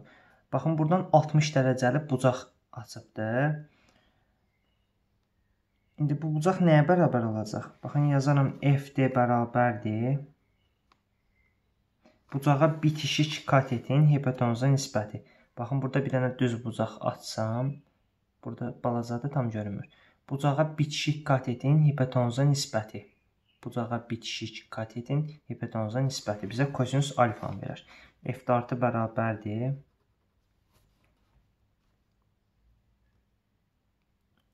F kosinus alfa. Baxın F idi, F kosinus alfa oldu. Çünki bu müəyyən bucaq açıbdır. Şəkildən göründüyü kimi. O da nəyə bərabərdir? F vuraq kosinus 60-da 2-də 1. Yəni F2-də 1-ə vurmaq nə deməkdir? F2-yə bölmək deməkdir. F dartını tapdıq. Deməli, yekinetik 1 nəyə bərabərdir? Yekinetik 1 bərabərdir. F S-ə. Yekinetik 2 nəyə bərabər olur bəs? Yəni, ikinci halda kosinus müəyyən bucaq açısına görə kosinus alfa S olacaq. F kosinus alfa S. Baxın, yekinetik 1-in yekinetik 2-yə nisbətini istəyir də bizdən. Yekinetik 1-in yekinetik 2-yə nisbətini. Yekinetik 1 fs-dir. Yekinetik 2-dən fs kosinus alfadır. fs-lər gedər, qalar 1 bölək kosinus alfa, yəni 1 bölək 2-də 1. O da nə deməkdir? 1-i 0,5-ə bölsək 2 eləyər də. 61-də düzgün cavab olacaq 2. Yəni A bəndi. 62-yə baxaq. Cisim sabit əvəzləyici qüvvənin təsiri ilə düz xəttlə hərəkət edir. Bu qüvvənin işi müsbət olarsa, cismin impulsun proyeksiyasının zamanlı asılı qraf konst ya x oxu istiqamətində yeyinləşən, ya da x oxun əksi istiqamətində yeyinləşən hərəkət eləməlidir. Yəni ki, e, təcil və qüvvənin işarəsi müsbət olmalıdır, çünki müsbət iş görür. Düzgün cavab 62-də olacaq Y bəndi. Baxın, yeyinləşən hərəkət edir. 63-ə baxaq. Sabit əvəzləyici qüvvənin təsiri ilə düz xəttli hərəkət düz xəttli hərəkət edir. Bu qüvvənin işi müsbət olan olarsa, cismin imp impulsunun proyeksiyasının zamandan asıllıq qrafikanısıdır. Yenə əgər iş müsbət olarsa, x oxu istiqamətində və ya əksi istiqamətində yeyinləşən hərəkətə uyğun olmalıdır. O da düzgün olacaq 63-də Y bəndi. Baxın, x oxunun əksi istiqamətində yeyinləşən. 64-ə baxaq. Sabit əvəzləyici qüvvənin təsiri ilə düz xəttlər hərəkət edir. Bu qüvvənin işi mənfi olarsa, yenə yavaşlayan hərəkət uyğun. Baxın, bu tiplərdə əslində eyni tiplidir hamısı. İş mənfi olarsa, yavaşlayan hərəkət eləməlidir. Fərqi yoxdur x oxu istiqamətində və ya x oxunun əksi istiqamətində. Əgər müsbət olarsa, x oxu istiqamətində və x oxunun əksi istiqamətində yeyinləşən hərəkət eləməlidir. Yavaşlayan hərəkət olanda iş mənfi olur, yeyinləşən hərəkət olanda iş müsbət olur. Burada iş mənfi olar deyir, yavaşlayan hərəkət 64-də düzgün cavab B-dir, 65 də eynisidir. 66-ya baxaq. Sükunətdə olan cisim cisim şəkildə təsvir olunan 3 qüvvənin təsiri ilə hərəkətə başlar. Bu qüvvələrdən hansılar müsbət iş görür? Baxın, burada F1 qüvvəsi müəyyən F-ə bərabərdir, müəyyən bir qüvvədir. Yəni bu iş müsbət iş görəcək. Burada əks işarəli olanları bir-birindən çıxırıq və modulu böyük olan qüvvə e, cisim modulu böyük olan qüvvə istiqamətinə yönəldiyinə görə onun işi müsbət olacaq. Baxın F3 F2-dən böyükdür də F qədər. Deməli müsbət olacaq F1 və F3 qüvvəsi. Düzgün cavab 66-da olacaq B bəndi. 67-yə baxaq. Sükunətdə olan cisim şəkildəki təsvir olunan 3 qüvvənin təsiri hərəkətə başlar. Bu qüvvələrdən hansılar mənfi iş görür? Burada yenə mənfi iş görən ə, bu müsbət iş görəcək F1 qüvvəsi. E, F3 hansı kiçikdirsə o mənfi iş görəcək. Əksini soruşur da burada F2 qüvvəsi. 67-də düzgün cavab olacaq yalnız F2, yəni D bəndi. Bunların qaydasını demişəm, yerinə qoyub öyrənirsiniz.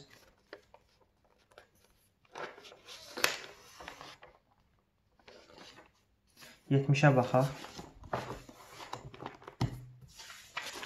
30 Newton dartı qüvvəsinin təsiri, təsiri altında düz xətlə hərəkət edən 2 kiloqram kütləli cismin yer dəyişməsinin zamanlı asıllıq qrafiki verilmişdir. İlk 2 saniyə ərzində sürtünmə qüvvəsinin işini hesablayın. Baxın. Hərəkət bərabər yavaşlayan Baxın, müəyyən hündürlükdən atılır. Hə, burada məsafənin teydən yolun zamanı nasıl qrafikdir? Yəni qrafikdən görürük ki, yavaşlayan hərəkət eləyir də burada. Yavaşlayan hərəkət elədiyinə görə V0 olur. V0 olan olmağı nə deməkdir? Yəni sürtünmə qüvvəsi dartı qüvvəsindən böyükdür. Yəni cisim dayanır da. Bu deməkdir. Onda F sürtünmədən bizdən sürtünmə qüvvəsinin işini istəyir. F sürtünmə. Aha. Deməli, baxın F sürtünmə əgər F dartdan böyükdürsə, böyükdən kiçik çıxarıq. F sürtünmədən F dartını çıxarıq, bizə qüvvəni verər. Yəni M A-nı verər. F sürtünmə onda nəyə bərabər olar? M A üstə gələk F dartıya. Məlumdur ki, A nəyə bərabərdir? 2S bölək V0-ın kvadratına bərabərdir. Bir tərəfdən də məlumdur ki, S-in özü nəyə bərabərdir? S-in özü VT bölək 2-yə bərabərdir. Bax, indi buradan mən V0-ı tapsam, gətirib burada yazaram. V0 nəyə bərabərdir? 2S bölək T-yə O da bərabərdir 2 vuraq S nə qədərdir? 4-dür də. 2 vuraq 4 bölək 4. Üzr istəyirəm 2. Burada 2-lər gedər, qalar 4 və 0 bərabər 4 metr bölək saniyə. A nəyə bərabərdir? A da bərabərdir və 0 bölək 2-yə. Yəni V0 4 tapdıq. 4-ü bölərik 2-yə eləyər 2 metr bölər saniyə kvadratı. Baxın A-nı da tapdıq. V0 da var. Deməli F sürtünmə bəs nəyə bərabərdir? F sürtünmə bərabərdir 30 Newton dartı qüvvəsinin təsiri altında hərəkət eləyir. Deməli J-də 10-dur da.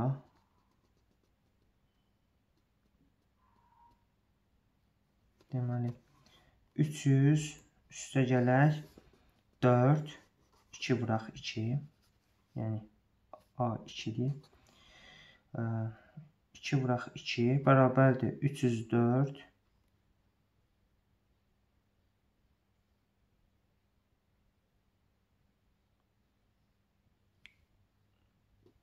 Hə, burada F sürtünmə bərabərdir.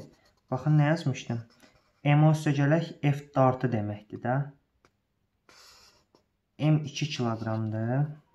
2 vuraq A nə qədərdir? A da 2-dir. MA bu deməli MA-dır. F sürtünmə bərabərdir. MA üstə gələk F dartı. F dartı nə qədərdir? F dartı da baxın bizə veribdi 30 Newton dartı qüvvəsini. 30 Newton. O da nə qədər eləyər? F sürtünmə eləyər 34 Newton.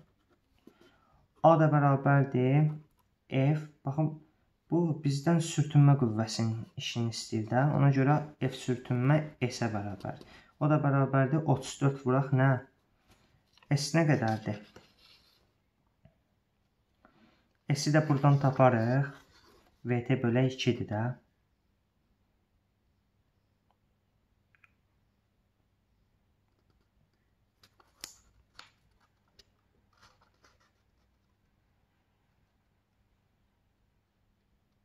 Deməli. Hə, VT bölək 2-dir. O da nəyə bərabər olar? 8 vuraq 2 saniyədə deyir. 2 saniyədə deyir. 8 vuraq 2, daha doğrusu 4-dür də, V-ni 4 tapdıq. 4 vuraq 2 bölək 2, 2-lər gedər, qalar 4 metr. S də bərabərdir 4-ə. 34-də 4-ə vuranda neçə eləyər? 136 joule eləyər. Sadəcə burada yavaşlayan hərəkət olduğuna görə, e, yəni təcilin qiyməti azalır. Yəni qüvvənin də qiyməti azalır və mənfi iş görür. Mənfi 136 joule. 70-də düzgün cavab oldu Y bəndi. 71-ə baxaq. Tircik mail müstəvi üzərində aşağı hərəkət edir. Ona təsir edən ağırlıq qüvvəsinin A1. Ağırlıq qüvvəsi baxın mail müstəvi üzərində sürüşür deyə, mail müstəvi üzərində sürüşür deyə. Yəni ağırlıq qüvvəsi biraz maili istiqamətdə bu cür maili istiqamətdə sürət vektoruna yaxın olacaq. mg-dir. Bu A1-dir. Sonra dayağın reaksiya qüvvəsi A2-dir. Bu perpendikulyar yönəlir. A2 dayağın reaksiya qüvvəsi və sürtünmə qüvvəsi. Bu da A3-dür. Bu da A3-dür. Hansı deməli qüvvəsinin işləri üçün hansılar doğrudur? A1 nə oldu? Ağırlıq qüvvəsi oldu. Baxın, biraz mailidir bu. Mail müstəvi üzərində sürüşür. Biraz sürət vektoruna mail e, meyl edib də belə deyim. Meyl edibdir. Müsbət iş görür. A1 böyükdür 0-dan. A1 böyükdür 0-dan. Sonra A2 nədir? A2 dayağın reaksiya qüvvəsi perpendikulyar yönəldiyindən 0-a bərabər olur. İş görmür. Düzgün cavab C oldu. Deyil, üçüncüyə baxmağa ehtiyac olmadı. Yenə də baxaq. Aha, A3 ilə sürtünmə qüvvəsidir. Sürtünmə qüvvəsi həmişə mənfi iş görür. Hərəkətin əksinə yönəlir. A3 də kiçikdir 0-dan. 71-də düzgün cavab oldu C bəndi. 72-yə baxaq. Cismə təsir edən dartı qüvvəsi sürtünmə qüvvəsindən kiçik olduqda hansı ifadələr doğrudur? Baxın. Cismə təsir edən dartı qüvvəsi sürtünmə qüvvəsindən kiçik olduqda F dartı kiçikdir F sürtünmə. Yəni cisim dayanır. Cisim dayanırsa, əvəzləyici qüvvə cisim üzərində gördüyü iş müsbətdir. Xeyr, mənfi olacaq, çünki cisim dayanır. Əvəzləyici qüvvənin cisim üzərində gördüyü iş mənfidir. 72-də 2 doğrudur. Cisim üzərində iş görünmür. Cisim üzərində iş görülür. Kinetik enerjisi azalır. Çünki cismin ə, sürəti də azalır və y kinetik bərabərdir mv kvadrat bölə 2-dən. Yəni e, m-lə, e, daha doğrusu sürətlə düz mütənsib asıldı. Bu bizə məlumdur. 72-də düzgün cavab oldu 2 ilə 5. 73-ə baxaq. Cisim verilmiş mail müstəvi üzrə yuxarı hərəkət etdirilir. Hansı ifadələr doğrudur? Yuxarı hərəkət et, e, yuxarı hərəkət elədiyinə görə ağırlıq ə, aşağı yönəlir və iş mənfi olur. Ağırlıq qüvvəsinin gördüyü iş mənfi olacaq. Çünki aşağı yönəlir. Sürtünmə qüvvəsi həmişə mənfi iş görür. Dayağın reaksiya qüvvəsi ə, 90 dərəcə perpendikulyar yönəldiyinə görə iş görməyəcək. 73-də düzgün cavab oldu 2, 4, 6. 74-də baxaq. Cismin impulsunun istiqamətinə görə hansı ifadələr doğrudur? Baxın, impulsu sola doğru hərəkət. F1 qüvvəsi müsbət iş görür. Bəli, çünki ə, impulsa meyl edibdir. Baxın 90 dərəcədən impulsa tərəf meyl edibdir. Əgər bu tərəf olsaydı mənfi iş görəsiydi. Yəni impulsa daha yaxındır, belə deyim. Ona görə müsbət iş görür. 1 doğrudur. F2 qüvvəsi mənfi iş görür. 90 dərəcə perpendikulyar yönəlib iş görmür. 4 doğrudur. F3 qüvvəsi mənfi iş görür. Bəli, sürtünmə qüvvəsinin işini gördü da. Baxın, impulsun tam əksinədir. F3 qüvvəsi mənfi iş görür. Düzgün cavab 74 74-də oldu. 1 4 5. Baxaq 75-ə. Sükunətdə 2,5 kiloqram kütləli cismə eyni anda F1 və F2 qüvvələri təsir etməyə başlar. İlk 5 saniyə ərzində bu qüvvələrin əvəzləyicisinin cism üzərində gördüyü şey hesablanır. 75-ə baxırıq. Verilənləri yazıram. Deməli, M bərabərdir 2,5 kiloqram. F1 bərabərdir 6 Newton. F2 bərabərdir 8 Newton. A bərabərdir sual. Bunu bu cür yaza bilərəm də. Sükunətdəki cisim deyirsə V0-da 0-dır. Baxın, A bərabərdir Fs-dən. Burada əvəzləyici qüvvəni tapsam, qüvvələrin əvəzləyicinin cism üzərində gördüyü işi tapın. Aha, F əvəzləyici. F əvəzləyici nəyə bərabər olar? Baxın, 90 dərəcə olduğuna görə kök altında F1-in kvadratı üstə gələk F2-in kvadratı olacaq. Əvəzləyici qüvvə bu cür tapılır da. Qüvvələr bir-birinə perpendikulyar təsir etdikdə.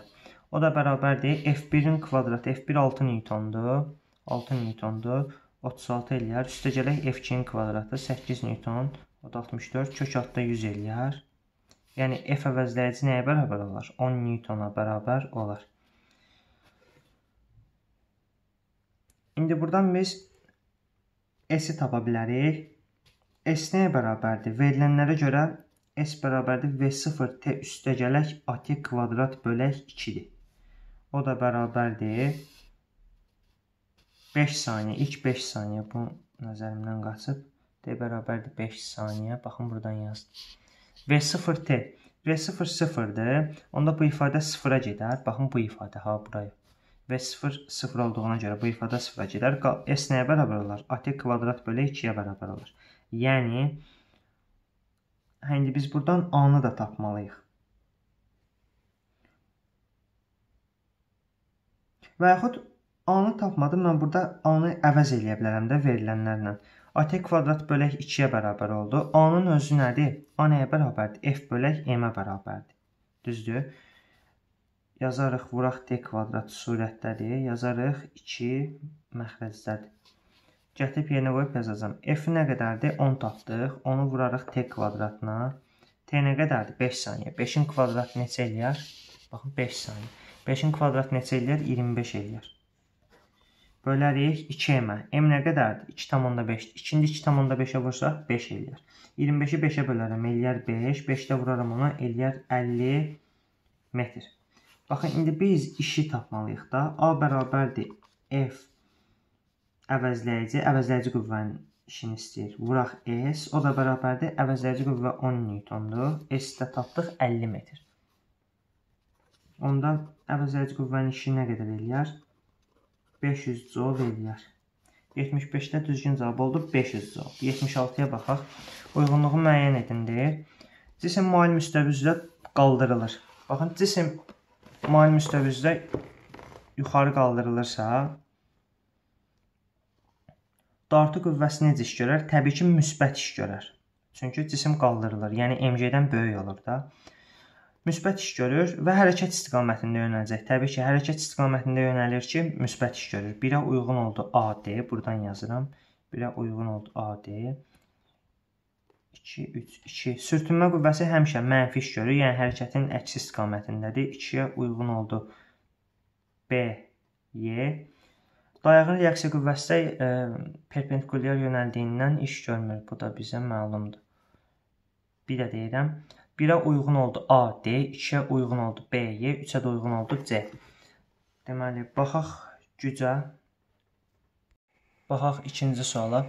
Gücü 10 kilovat olan qaldırıcı kran yükü 0,5 metr bölü saniyə sabit sürətlə qaldırılır. Yükün kütləsi nə qədərdir?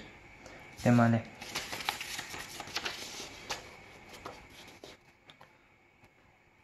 M bərabərdir 10 kilovat, yəni 10000 watt V bərabərdir 0,5 metr bölək saniyə. J bərabərdir 10 metr bölək saniyənin kvadratı. Yükün kütləsi nə qədərdir? Yükün kütləsi M bərabərdir sual. Güc nəyə bərabərdir? İşin zamana nisbəti. Güc adlanır. A bölü T. Yəni F S böl T S böl T bizə V-ni verir. Yəni FV bu şəklə gələr düstur. V-ni də nə yazarıq? JT yazsaq FJT olacaq.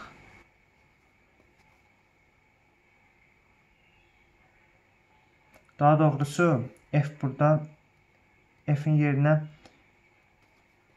F-in özü nədir? JT-dir də, daha doğrusu MJ-dir də, MJV. bizdən m istəyir. M nəyə bərabər olar? M bölək J V-yə bərabər olar. Yəni 10.000 bölək V 0.5-dir, J də 10. 0.5-i ona vursaq nə eləyər? 5 eləyər. O da bərabərdir. Deməli 2000 kiloqram. 2-də düzgün cavab olacaq C bəndi. 2000 kiloqram. 3-ə baxaq.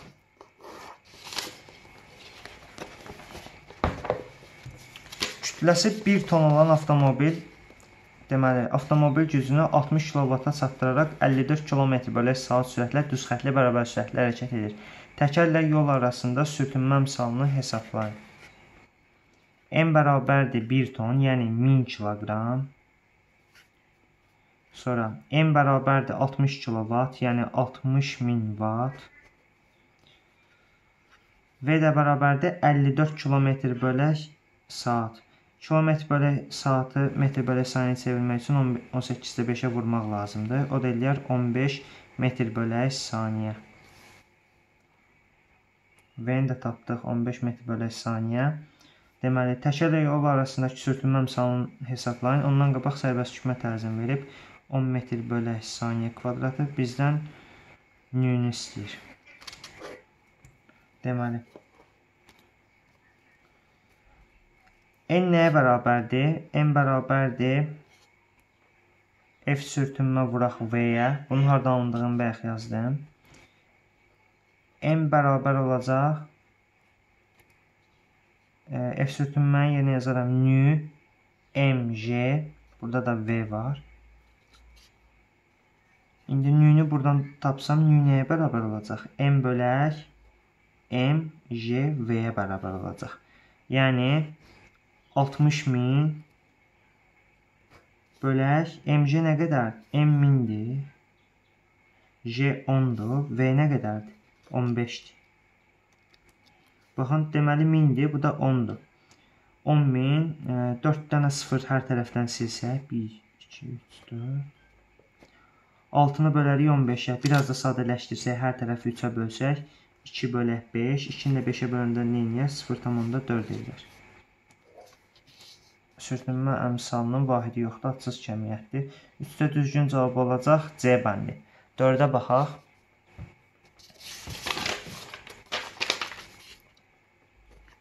Deməli, kütləsi 1,5 ton olan avtomobil üfüqi yolda 36 km/s sürətlə düz xətli bərabər sürətlə hərəkət edir. Təkərlə yol arasındakı sürtünmə misal 0,5 olarsa, avtomobil mühərrikinin gücünü hesablayın. Burada yenə M bərabərdir 1,5 ton, yəni 1500 kiloqram. Sonra V bərabərdir 36 vuraq 18-də 5, o da bərabərdir 10 metr bölək saniyə. Nü bərabərdir 0,5, J bərabərdir 10 metr bölək saniyənin kvadratı. Avtomobil mühərrikinin gücünü hesablayın. M bərabərdir sol. N nəyə bərabərdir? M bərabərdir. Baxın, verilənlərlə əlaqələndirsək, yazarıq M bərabərdir nü MJ bu F sürtünmədir. Vuraraq F sürtünmə, vuraq S. Daha doğrusu V, nü MJ V. Nəyə bərabərdir? Elə bizdən güc istəyir. Bunu birbaşa yerinə qoyub yazacağam. Nü 0,5-dir. M 1500-dür. Sonra J 10-dur. V 10-dur. N bərabərdir. Bu 10-un birini 0,5-ə vursam 5 eləyər. 5-i vursam 1500-ə 7500 eləyər. 7500-ü ona vursam eləyər 75000 watt. Yəni 75 kilovat. Cavablarda bizdə kilovat veribdir. 4-də düzgün cavab olacaq B bəndi. Baxaq 6-ya.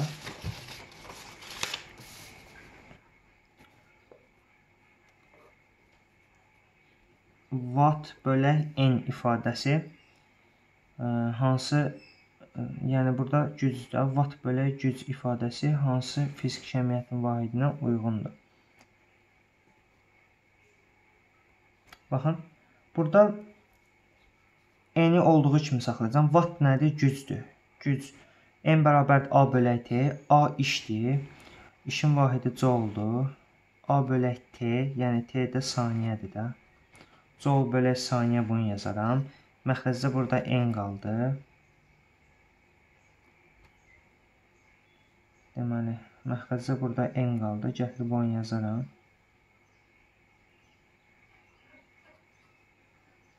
Joule-un özünü nə kimi yaza bilərəm? Newtonla əlaqələndirsən, m vuraq.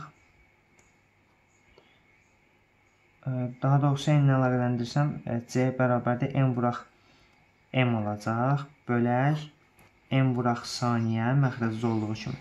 Burada n-lər gedər, qalar metr bölək saniyə. O da bizə nəyi verər? Sürəti verər də.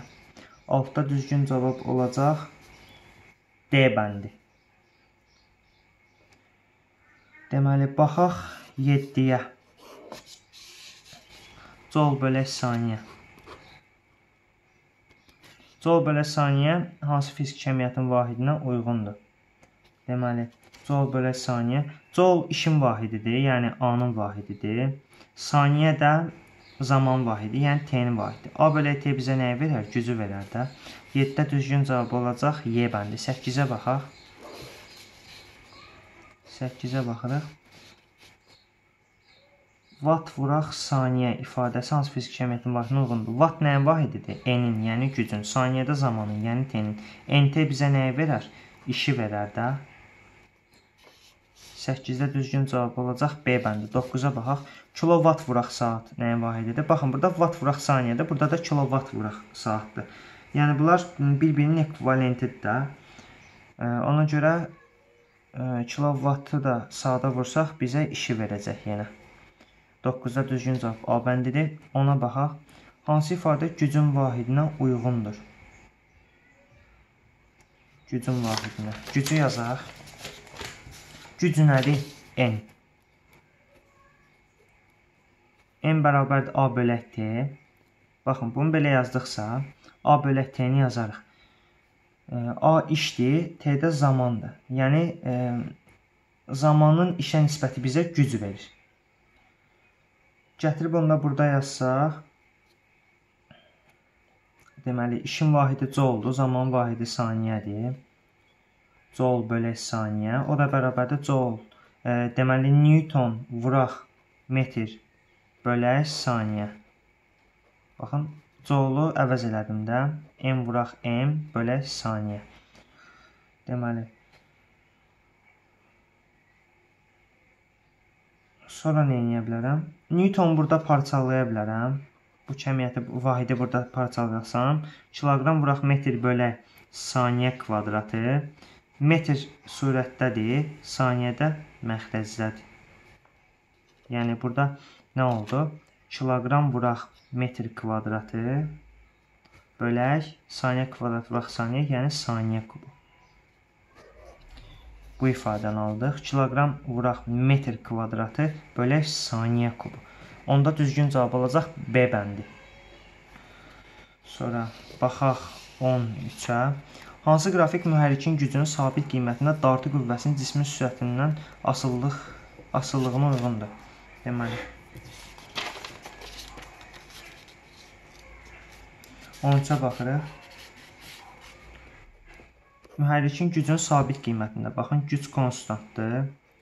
Güc konstantdırsa mən yaza bilərəm ki, deməli F-in V-dən asıllığını verib də F nəyə bərabərdir? F bərabərdir gücün sürətə nisbətinə. Deməli, burada güc sürətdən nə cür asılı olur? Tərs mütənasib asılı olur. Ona görə 13-də düzgün cavab olacaq tərs mütənasib qrafik, yəni D bəndi. Baxaq 14-də. 14-də deyir, hansı qrafik mühərrikin gücünün sabit qiymətində cismin sürətinin dartı qüvvəsindən qüvvəsinin asıllığına uyğundur. Yenə güc sabitdir. mən burada v-ni f ilə əlaqələndirməliyəm. v nəyə bərabər olacaq? v bərabər olacaq m bölək f-ə. Onda v burada f ilə nə cür asılı olur? Tərs mütənasib asılı olur. 14-də də düzgün cavab olacaq A bəndi. Baxın, tərs mütənasib asılıdır. 15-ə baxaq. Mühərrikin gücünün sabit qiymətində avtomobilin sürətini 4 dəfə azaltdıqda mühərrikin yaratdığı dartı qüvvəsi necə dəyişər? Burada da yenə ə, e, güc sabit qiymətində F bərabərdir M bölə V. Çünki V bərabərdir S bölə T. T burada tərsinə keçəcək də, böl e, bölmə əlaməti olduğuna görə. Onda bizdə nə edir? Avtomobilin sürəti 4 dəfə azaltdıqda mühərrikin yaratdığı dart qüvvəsi. Baxın, avtomobilin sürəti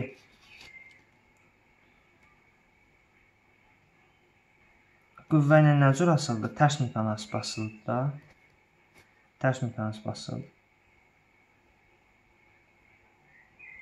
Yəni 15-ə baxırdıq. Avtomobilin sürəti 4 dəfə azalsa, 4 dəfə azalsa, mühərrikin yaratdığı dartı qüvvəsi 4 dəfə artmalıdır. 4 dəfə artmalıdır. Yəni 15-də düzgün cavab oldu B bəndi. 16-nı siz yazsız, baxaq 17-yə. Şəkildə mexanizmin gücünün zamanlı asıllıq qrafiki verilmiş. 10 saniyə ərzində mexanizmin gördüyü işi hesablayın. Yəni T bərabərdir 10 saniyə. Baxın, burada işi tapsaq, iş nəyə bərabərdir? Verilmiş qrafikin e, sahəsinə bərabərdir. Yəni fiqurun sahəsini S fiquru, da trapesiyadır da. A üstə gələ B bölək 2 vuraq H. A da bərabərdir. Deməli, A nə qədərdir? 10-dur. B də 10 çıxaq 4, yəni 6-dır. 16-nı 2-yə bölsək 8, 8 də vurarıq hündürlüyə 50-yə yəni. O da eləyər 400 joule. 17-də düzgün cavab oldu A bəndi. 18-ə baxaq. 18-də də yenə eyni sual dəstəsində burada da fiqurun sahəsini tapacağıq. Sadəcə burada trapesiyadır, burada 3 bucaqdır. A bərabərdir S fiqura, o da bərabərdir S 3 bucaq, yəni 2-də 1 AH düsturundan tapacam. 2-də 1 AH düsturundan tapacam. A nəyə bərabər olar?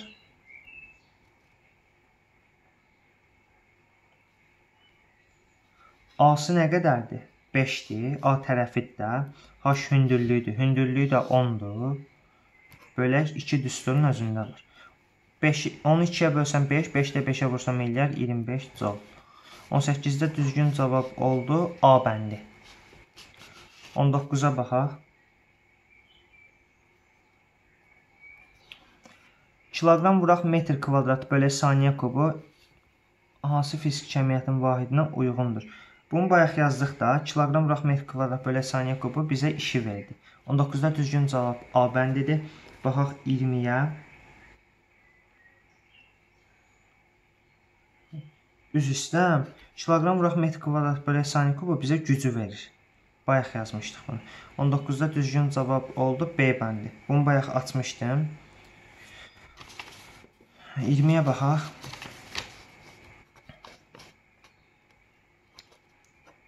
Watt vuraq saniyə bölək metr kvadratı hansı fiziki cəmiyyətin vahidinə uyğundur?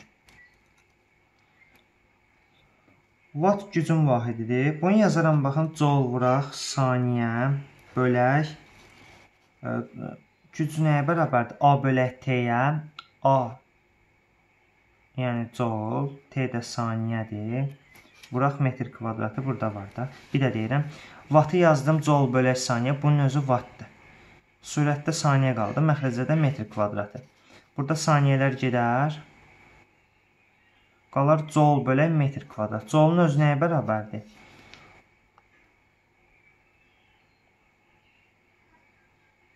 Joule-un özü nəyə bərabərdir? Newton vuraq metrə bərabərdir də. Newton bölək metri də metr kvadratına bölsək nə qalar? Newton bölək metr qalır. O da bizə K sərtliyini verər. 20-də də düzgün cavab oldu D bəndi sərtliyi.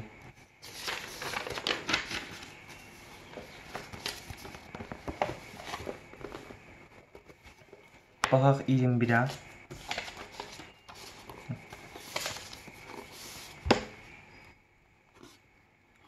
Kök altda vat vuraq saniyə bölək kiloqram vuraq metr kvadratı hansı fiziki cəmiyyətin vahidinə uyğundur. Deməli, Vatı yenə yazaram. Joule bölək saniyə. Baxın, bu təkcə watt. Surətdə saniyə var. Aşağıda nə var? Kiloqram vuraq metr kvadrat var. Bərabərdir. Burada yenə yazaram. Saniyələr baxın burada gedər. Joule yazaram Newton vuraq metr bölək kiloqram vuraq metr kvadratı bərabərdir.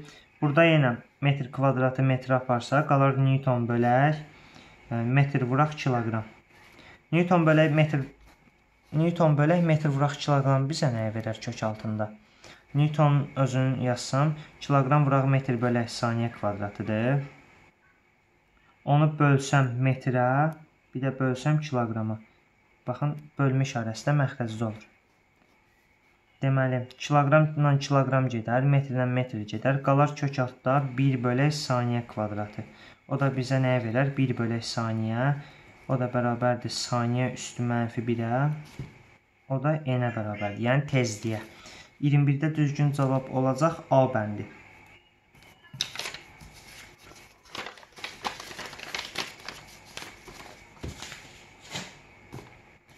Baxaq 22-yə.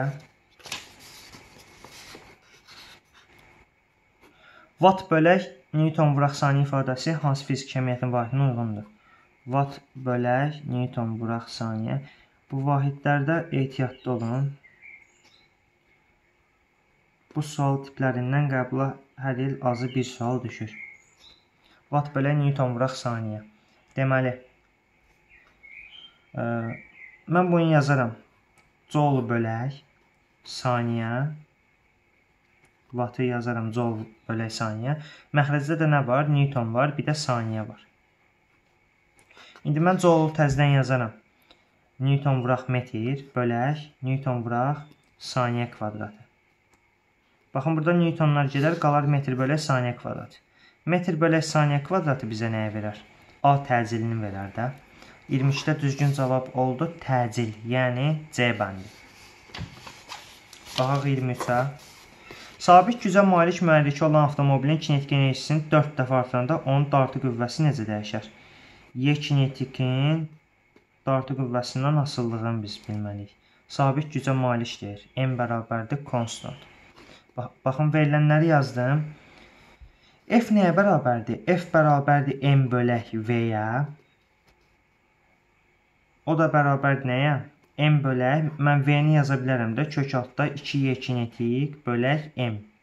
Baxın, burada e, dartı qüvvəsindən əlaqələndirmək üçün yazdım bunu.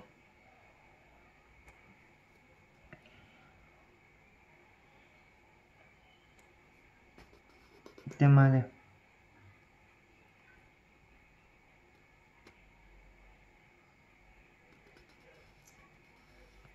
Baxın, kinetik enerjidən necə asılı oldu dartı qüvvəsi? Kök altda tərs mütənasib asılı oldu da. Y kinetikdən kök altda tərs mütənasib asılı oldu. Yəni, kinetik enerjisi 23-ə baxırıq. 4 dəfə artanda, kinetik enerjisi 4 dəfə artanda kvadratik, e, daha doğrusu kök altında tərs mütənasib asılıdır. Qüvvə necə dəyişər? Qüvvədə təbii ki, 2 dəfə azalmalıdır da. Çünki kök altda tərs. Kinetik enerji 4 dəfə artanda, aha, e, dartı qüvvəsi F dartı 2 dəfə azalmalıdır. 23-də düzgün cavab olacaq C bəndi. Baxaq 25-ə. 25-də yenə deyir, sabit gücə malik mühərriki olan avtomobilin dartı qüvvəsi 2 dəfə artdıqda onun kinetik enerjisi necə dəyişər? Burada da dartı qüvvəsi 2 dəfə artdıqda kinetik enerjisi necə dəyişər?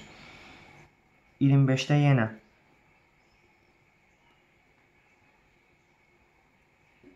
Bunu biraz ə, e, fərqli yazsam necə yaza bilərəm? F nəyə bərabərdir? F bərabərdir M bölək V-yə. O da bərabərdir M bölək kök altda 2Y kinetik bölək m. Hər tərəfi kvadrata yüksəltsək, f kvadrat bərabər olar Newton kvadrat bölək 2y kinetik bölək m. Yəni hər tərəfi kvadrata yüksəltdik də. Onda y kinetiki buradan tapsam, baxın bu ifadəni gətirib bura yazıram. Yəni burada çətin bir şey yoxdur, sadəcə fərqli yazmaq istədim. Siz y kinetiki gətirib buradan e, tapa bilərsiniz. Baxın bu ifadəni gətirib burada yerinə qoyacağam. Y kinetiki buradan çıxardıram. Nəyə bərabər olacaq? m vuraq, çarpaz vururuq da. m vuraq n kvadratı bölək 2f dartının kvadratına. Baxın bu dartıdır da, f dartıdır bu. Deməli, yeknetik bərabər oldu m n kvadrat bölək 2f dartının kvadratı. Yəni burada da yeknetik görsək, yeknetik Nə cür asılı olacaq dartı qüvvəsindən? Tərs kvadratik asılı olacaq.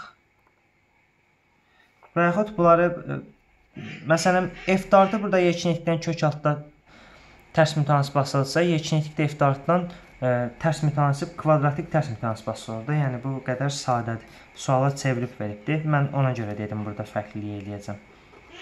Yəni əslində siz e, digər bu cür rahatdırsa belə tapıb tərsinə baxa bilərsiniz. Yəni bir kəmiyyət digərindən kök altda tərs asılırsa, deməli həmin kəmiyyətdə e, digər kəmiyyətdən e, kvadratik tərs mütənasibası olur. Bu da onun isbatıdır. Deməli bizdə indi nə deyir? Şərtə qayıdaq. Avtomobilin dartı qüvvəsi 2 dəfə artdıqda, baxın F dartı 2 dəfə artırsa, Kinetik enerjisi necə dəyişəcək? Təbii ki, kvadratik tərs mütənasib asıldı. Yəni bu 2 dəfə artırsa, bu da 4 dəfə azalacaq. 25-də düzgün cavab olacaq. 4 dəfə azaldı. Deməli D bəndi. Baxaq 26-ya. Hansı mülahizələr doğrudur? Avtomobilin mühərrik gücünün deməli avtomobilin mühərrikin gücünün dəyişmədən dartı qüvvəsi 2 dəfə artdıqda, yenə güc sabitdir, konstant dəyişmir. Qüvvə 2 dəfə artırsa, sürət 2 dəfə azalacaq. F bərabərdir m bölək v düsturuna görə. Onda mən baxın, bunu yazıram 26-da. Şərtə əsasən başa düşmək olar ki, f bərabərdir v bölək n. Üzr istəyirəm. F bərabərdir m bölək v. Yəni qüvvə burada sürətin tərs mütənasib asılıdır. Avtomobilin impulsu bir də kinetik enerjisi verib impulsu bir də kinetik enerjisi üçün düsturları yazacağam. İmpuls üçün yazaram P bərabərdir mv-dən, o da bərabərdir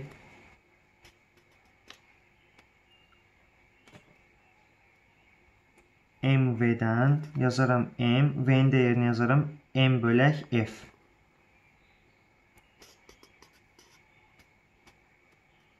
Dartı qüvvəsini 2 dəfə artırdıqda, f dartını 2 dəfə artırdıqda impuls necə dəyişər? Təbii ki, baxın, impuls f-dən nə cür asılıdır? Tərs mütənasib asılıdır. Yəni, f-i 2 dəfə artırsaq, impuls 2 dəfə azalar. Impuls 2 dəfə azaldı. İndi yekinetik üçün baxaq. Yekinetikdə bərabərdir mv kvadrat bölək 2-dən. Burada yenə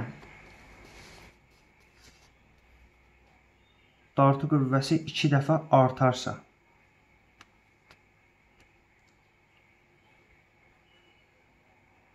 dartı qüvvəsi 2 dəfə artarsa, qüvvə yenə deyirəm, burada V-dən nə cür asıl? Tərs mütənasib asıldı. Baxın, F bərabər D bölü V.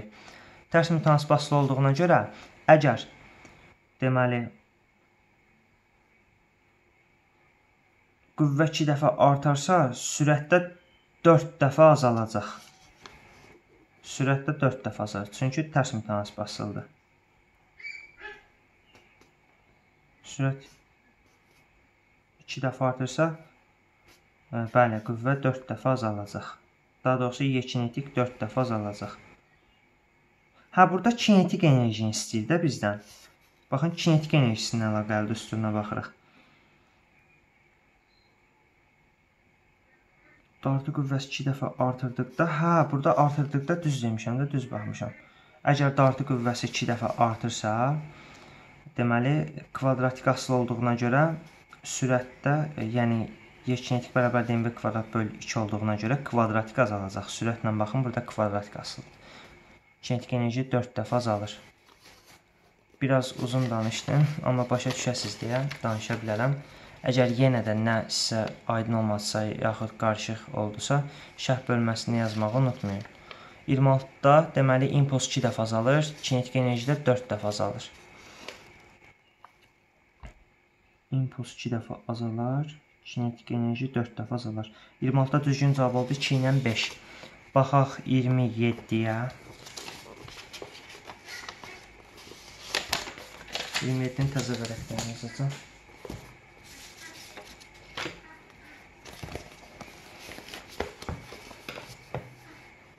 Deməli, 27-ni şərh oxuyub yazıram. Kütləsi 2 ton olan avtomobil gücünü 60 kW-a qədər çatdıraraq üfüqi yolda 54 km/saat sürətlə düzxətli bərabər sürətlə hərəkət edir. Təkərlə yol arasındakı sürtünmə misalını hesablayın. Deməli, m bərabərdir 2 ton, yəni 2000 kiloqram. Sonra avtomobilin gücü m bərabərdir 60 kW, yəni 60000 watt. Sonra V bərabərdir 54 km bölək saat, yəni 54 vuraq 18-də 5 metr bölək saniyə çevirmək üçün o da eləyər 15 metr bölək saniyə. Sonra J bərabərdir 10 metr bölək saniyə kvadratı. Təkərlə yol, yol arasındakı sürtünmə misalını hesablayın. Nü bərabərdir sual. Deməli, buradan da nü-nü tapacağıq. N nəyə bərabərdir? Güc bərabərdir. F sürtünmə vuraq S. F sürtünməni burada verilənlərdən yaza bilərəm. Nü mg. Nü mg. Nü mg vuraq V olacaq da. Nü mg V. E, onda buradan nüyünü tapsaq, bizdən baxın nüyünü istəyir. Nəyə bərabər olar? M bölək mg V-yə bərabər olacaq. O da bərabərdir. Gətirib yerinə qoyub yazsam. 60 min bölək M 2000-dir. Deməli J 10-dur. V nə qədərdir? 15-dir.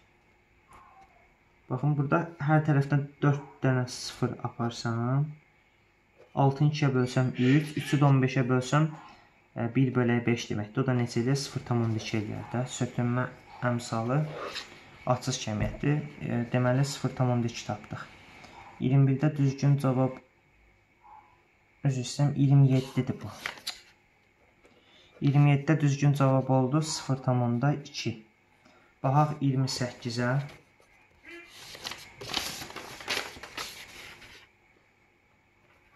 Deməli, kütləsi 2 ton olan avtomobil üfüqi yolda 36 km/saat sürətlə düzxətli bərabər sürətlə hərəkət edir. Təkərlə yol arasındakı sürtünmə məsafəsi 0,4 olarsa, avtomobil mühərrikinin gücünü hesablayın. Yenə M bərabərdir 2 ton, yəni 2000 kiloqram. Sonra V bərabərdir 36 km bölək saat, yəni 36 vuraq 18-də 5, o da eləyir 10 metr bölək saniyə. Sürtünmə misalı nü bərabərdir 0,4, J də bərabərdir 10 metr bölək saniyənin kvadratı. Avtomobil mühərrikinin gücünü hesablayın. M bərabərdir sual. Verilənləri yazdım, indi həll eləyək. Güc nəyə bərabərdir? Qüvvə ilə sürətin hasilinə bərabərdir. O da bərabərdir nü mgv-yə. Gətirib burada yerinə qoysam, elə bizdən gücü istəyir də taparam. Nü nə qədərdir? 0,4-dür. M 2000-dir. J 10-dur. V nə qədərdir? V də 10 metr bölü saniyədir. Baxın, indi buradan 0,4 ona vursam, neçə eləyər? 4 eləyər. 4-ü vuraram 2000-ə, 8000. 8000-də ona vursam, eləyər 80 min joule. Üzr istəyirəm, watt. Joule işin vahidi idi. Burada güc 80 min watt. Cavablarda bizdən istəyir ki, kilovatla ifadə eləyək. 80 min watt nəyə bərabərdir? 80 kilovata bərabərdir. 28-də düzgün cavab 80 olacaq. Deməli,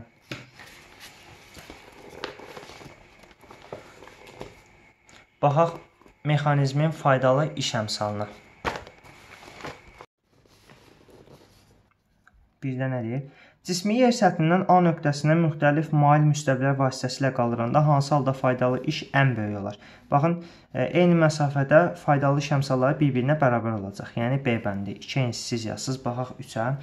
M kütləli lift sabit V sürəti ilə yuxarı qalxır. Mühərrikin faydalı iş əmsalı mu olarsa, onun gücü hansı ifadə ilə təyin olunur? Verilənləri yazacağam. Deməli M var, V var, mu var. E, N var, bizdən N-i soruşur. Bir də J var. Baxın bu 5 cəmiyyəti bir-birindən əlaqələndirib yazacağam. Deməli, faydalı iş əmsalı nəyə bərabərdir? Mu bərabərdir MJV vuraq 100% bölək N-ə. İndi bizdən N istəyir də. N nəyə bərabər olacaq? MJV vuraq 100 bölək mu-ya bərabər olacaq. MJV Vuraq 100 bölək 1000. 3-də düzgün cavab olacaq A bəndi. Baxın bu. 100 vuraq MGV bölək 1000. Baxaq 4-ə. Maşının mühərrikinin gücü 8 kV, faydalı iş əmsalı isə 50%-dir. 2 dəqiqə ərzində o nə qədər yükü 30 metr hündürlüyə qaldırar. Bunu təzə vərəqdən yazacağam, biraz uzundur. Deməli, Baxın, bunu elə e, verilənləri yazıram. M bərabərdir 8 kilovat, yəni 8000 vat. 8000 vat. Faydalı iş əmsalı isə 50%-dir. 2 dəqiqə ərzində T bərabərdir 120 saniyə. Nə qədər yükü 30 metr hündürlüyə qaldırar. H bərabərdir 30 metr. J bərabərdir 10 metr bölək saniyənin kvadratı. Düsturda hamısını istifadə eləməliyik. Nə qədər yükü 30 metr hündürlüyə qaldırar. Yəni neçə kiloqram kütlü deyir də, nə qədər kütləli. Burada bizdən kütləni soruşur. M bərabər sual. Bunu həll eləsəm, mu bərabərdir M, J. İndi burada hündürlük verir. Bununla əlaqələndirsəm, MGH vuraq 100% bölək. Baxın, M vuraq T olacaq. Bunların hamısı faydalı iş əmsalının düsturlarıdır, yəni. Onda bunları çarpaz bir-birinə vursaq, mu n t nəyə bərabər olacaq? MGH vuraq 100-ə bərabər olacaq. Buradan m rahat tapa bilərik də. m də bərabər olacaq mu n t bölək gh vuraq 100. Gətirib yerinə qoyub yazacağıq. Mu 50-dir. N 8000-dir. T 120-dir. J 10-dur. H 30-dur. Bir də 100 var da. Baxın, aşağıda neçədən 0 var? 1, 2, 3, 4 dənə. Yuxarıdan 4 dənə 0 aparsaq, bu 3, bu da 4. Bunlar gedər. Deməli, 12-ni bölərəm 3-ə 4 dəfə. 4-ü vuraram 8-ə. Ya 4-ü vuraram 50-yə, eləyər 200, 200 də 80-ə vuraram. Neçə eləyər? 1600 kiloqram. 4-də düzgün cavab olacaq C bəndi. Baxın 1600 kiloqram. 4-də düzgün cavab oldu C bəndi. Baxaq 5-ə.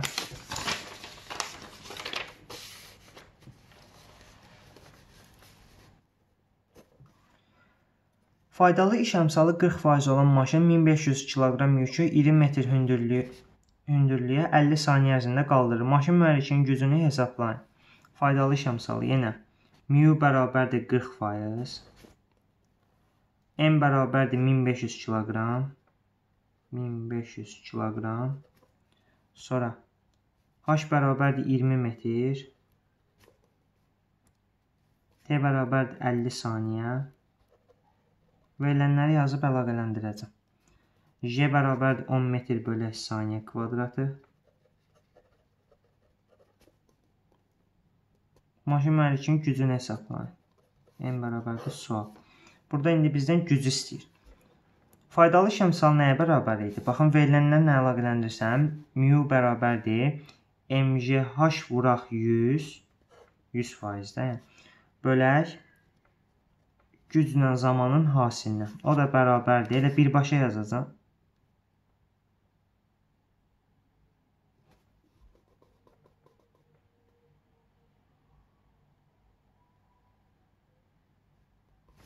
Deməli, mühərrikin gücünü hesablayın deyir. Buradan n-i tapmaq lazımdır. n nəyə bərabər olacaq bəs?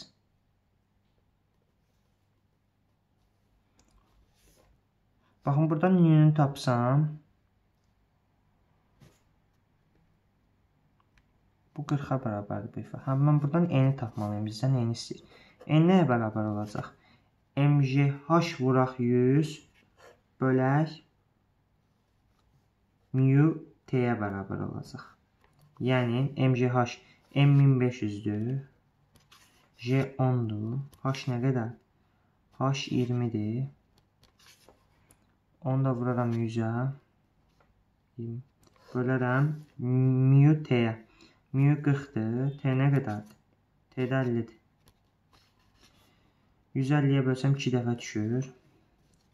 Burada 20-ni 40-a bölsəm burada 2 dəfə. Bu 2-lər gedər. 1500-ü də vuraram ona. Nə qədər eləyər?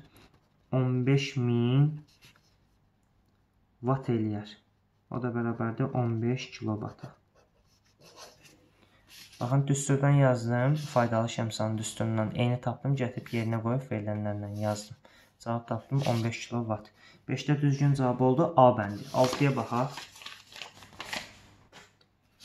6-da deyir, tərpənməz blokun köməyi ilə kütləsi 24 kiloqram olan cisim 250 newton qüvvənin təsiri ilə bərabər sürətlə qaldırılıb. Blokun faydalı iş əmsalını hesablayın. Tərpənməz blokdur. Deməli, M bərabərdir 24 kiloqram. Sonra F bərabərdir 250 newton. Sonra blokun faydalı iş əmsalını hesablayın. J bərabərdir 10 metr bölək saniyənin kvadratı.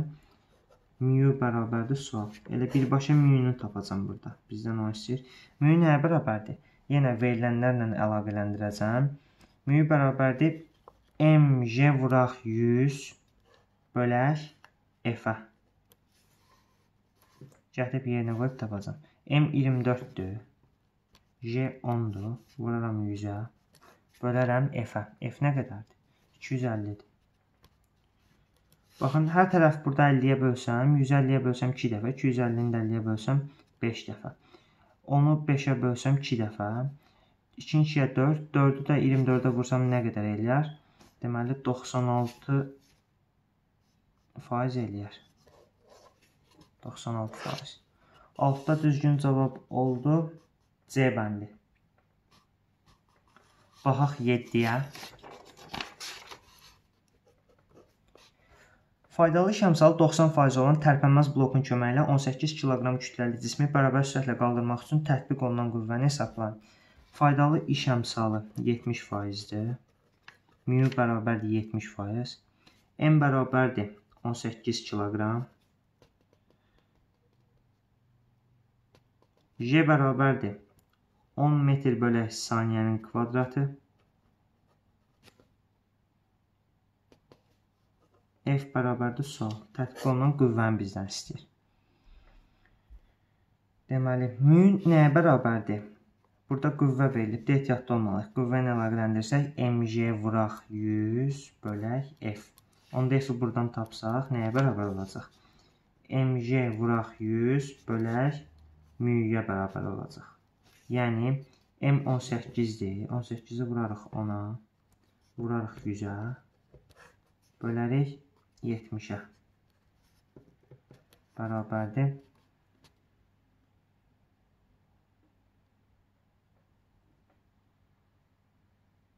MG nə qədərdir? MG 180-dir. 180-i vurarıq 100-ə.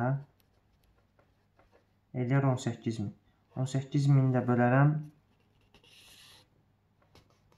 Burada faydalı şəmsal 90%-dir. 70 deyil, 90. Bölərəm 90-a.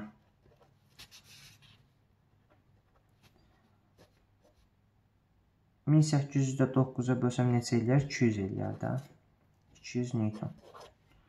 7-də düzgün cavab oldu 200 Newton. Yəni D bəndi. Bax 8-ə. Deməli 8-də tərpənən blokdur, ehtiyatlı olmaq. Tərpənən blokda 500 Newton qüvvənin köməyi ilə 60 kq yük qaldırılıb. Blokun faydalı şəmsalını toplayın. Yəni daha doğrusu hesablayın. Blokda F bərabərdir 500 Newton. M bərabərdir 60 kq. J bərabərdir 10 metr bölək saniyənin kvadratı. Bizdən blokun faydalı şəmsalını istəyir. Yəni müyün soruşur. Mu nəyə bərabərdir? F var, mg var. Deməli, bərabər olacaq. Mu bərabərdir. mg vuraq 100% bölək 2f. Nəyə görə 2f? Çünki tərpənən blokdur. Qüvvədə 2 dəfə qazanc verəcək. O da bərabərdir. mg nə qədərdir? m60-dır, jo. Eləyər 600. 600-də 100-ə vursam nə qədər eləyər? 60 min eləyər. 60 min də bölərəm 2 f-ə, yəni 2 vuraq 500. Yəni 1000.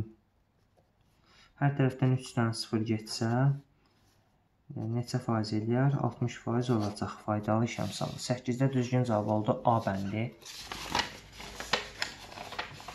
Baxaq 9-a. Faydalı iş əmsalı 60 faiz olan tərpənən blokda 60 kq yük qaldırılıb. Blokda tətbiq olunan qüvvəni hesablayın. İndi qüvvəni istəyir. Yenə mu bərabərdir 60 faiz. M bərabərdir 60 kq. Bloka tətbiq olunan qüvvəni hesablayın. F bərabərdir sual. F nəyə bərabərdir? F bərabərdir mg vuraq 100 bölək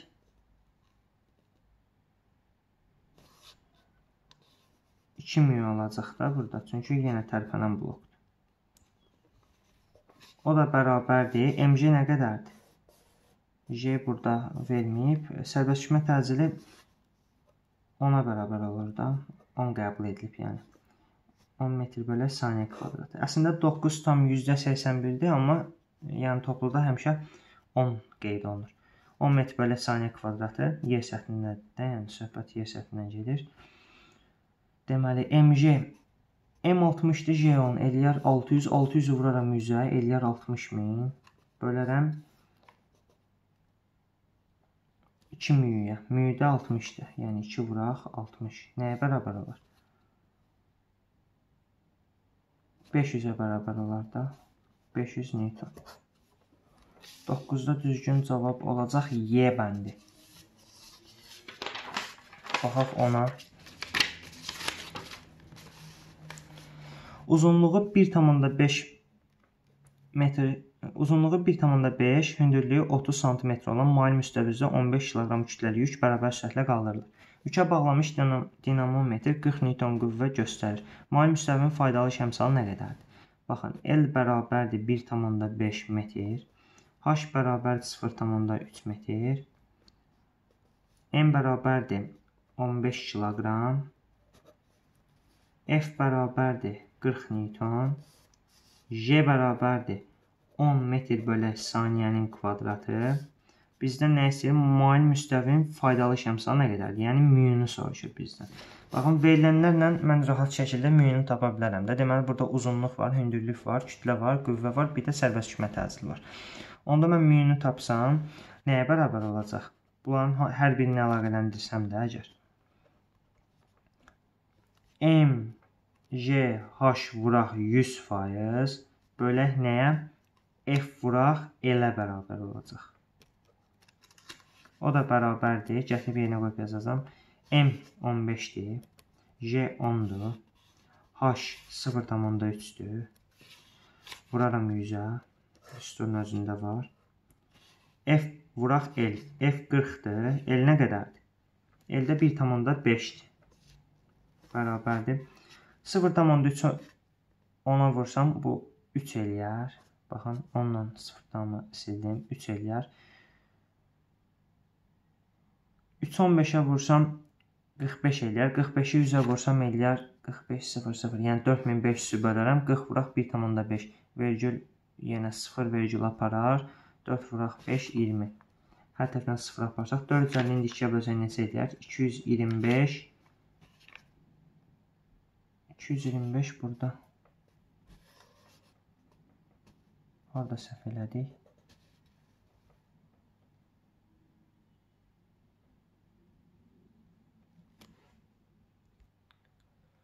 Burada ə, e, kiçik mexaniki səhv eləmişəm.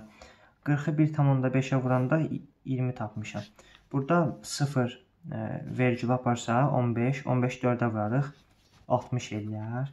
Burada bir dənə 0 ilə bir dənə 0 gedər. 450-ni bölərəm 6-ya. O da neçə eləyər? Deməli 75% eləyər. Onda düzgün cavab oldu 75%, yəni B bəndi. Baxaq 11-ə.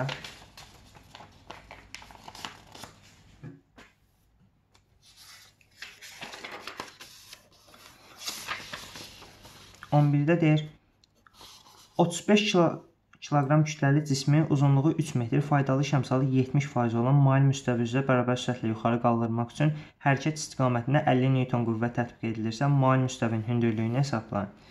M bərabərdir 35 kiloqram. H bərabərdir 3 metr. Mu bərabərdir 70%. F bərabərdir 50 Newton. J bərabərdir 10 metr bölək saniyə kvadratı. Nə qaldı?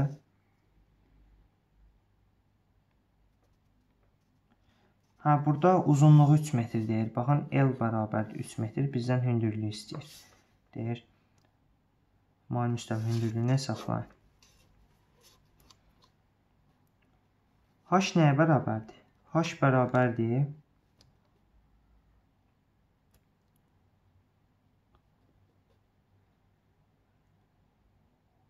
Baxın, buradan faydalı iş əmsalının düsturunu yazsam, sonra oradan h-ı rahat çıxara biləcəm.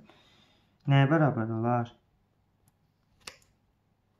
M, J, H vuraq 100 bölək F vuraq elə bərabərdir. Yəni, bu məlumdur verilənlərdən. Onda buradan H tapsaq, H nəyə bərabər olacaq? Mu vuraq F vuraq L bölək mg vuraq 100-ə bərabər olacaq. Gətirib yerinə qoyub yazacağıq. Mu 70%-dir. F 50-dir. L 3-dür. mg nə qədərdir? M 35-dir, J də 10 eləyər 350. Vuraq 100 bərabərdir. 350-nin içində 70 neçə dənədir? 5 dənədir də. Burada 5 qalar. Sonra 50-ni 5-ə bölsək burada 10 qalar. Sonra 100-ü 10-a bölsək burada 10 qalar. 3-ü də bölərik 10-a, o da eləyər 0,3 metr. 11-də düzgün cavab oldu 0,3 metr, o da 30 sm yerdə C bəndi. 12-yə baxaq. Hündürlüyü 40 sm, yəni h bərabərdir 0,4 metr, uzunluğu 2 metr, L bərabərdir 2 metr. Faydalı iş əmsalı mu bərabərdir 90% olan mail müstəvi üzrə cismi bərabər sürətlə yuxarı qaldırmaq üçün hərəkət istiqamətində 200 Newton qüvvə tətbiq edilmişdir. F bərabərdir 200 Newton.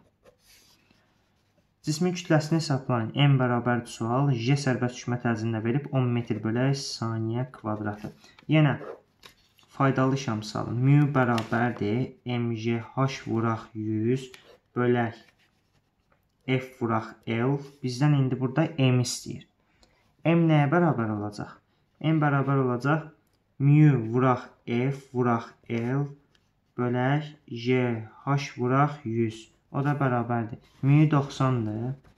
F 200-dür. L 2-dir. JH nə qədərdir? J 10-dur. H da 0,4-dür. 10-u 0,4-ə vursaq 4 eləyər. Burada da 100 düsturun özündədir. 200 100-ə bölsəm 2 eləyər. E, 2 dəfə düşəs. 2 2-yə 4. Bu 4 ilə gedər. Qalar 90 kiloqram. 12-də düzgün cavab oldu. 90 kiloqram. Yəni D bəndi. Baxaq 13-ə.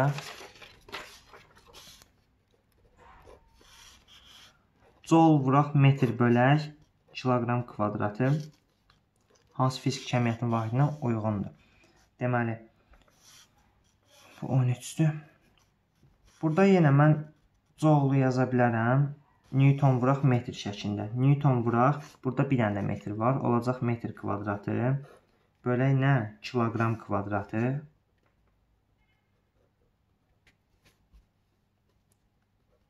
Newton nəyin vahidi? Qüvvənin vahididir, yəni F-in. Burada metr kvadratı elə olduğu kimi yazaram. M kvadratı bölərəm nəyə? Kiloqram kvadratına. Bu bizə nəyi verər? Baxın, belə bir düstur var da. F deməli F vuraq M1 vuraq M2 bölək kiloqram kvadratı. Bu bizə, hə, baxın burada M1, M2 bir-birinə vursaq M kvadrat eləyir də. Yəni bu iki cismin kütləsidir. Bu qravitasiya qüvvəsidir. Və bu ifadə bizə nəyi verər? Qravitasiya sabitini verər də. Bölək kiloqram kvadratı. M1 vuraq M2 bölək kiloqram kvadratı. F vuraq M1 Vuraq M2 bölək kiloqram kvadrat. Bizə qravitasiya sabitini verər. Yəni bu da nəyin vahidinə uyğun olacaq? Qravitasiya sabitinin vahidinə uyğun olacaq. 13-də də düzgün cavab oldu B bəndi. Bir mövzunun da sonuna gəldik. Suallarınızı rəy bölməsini yazmağı unutmayın. Sağ olun.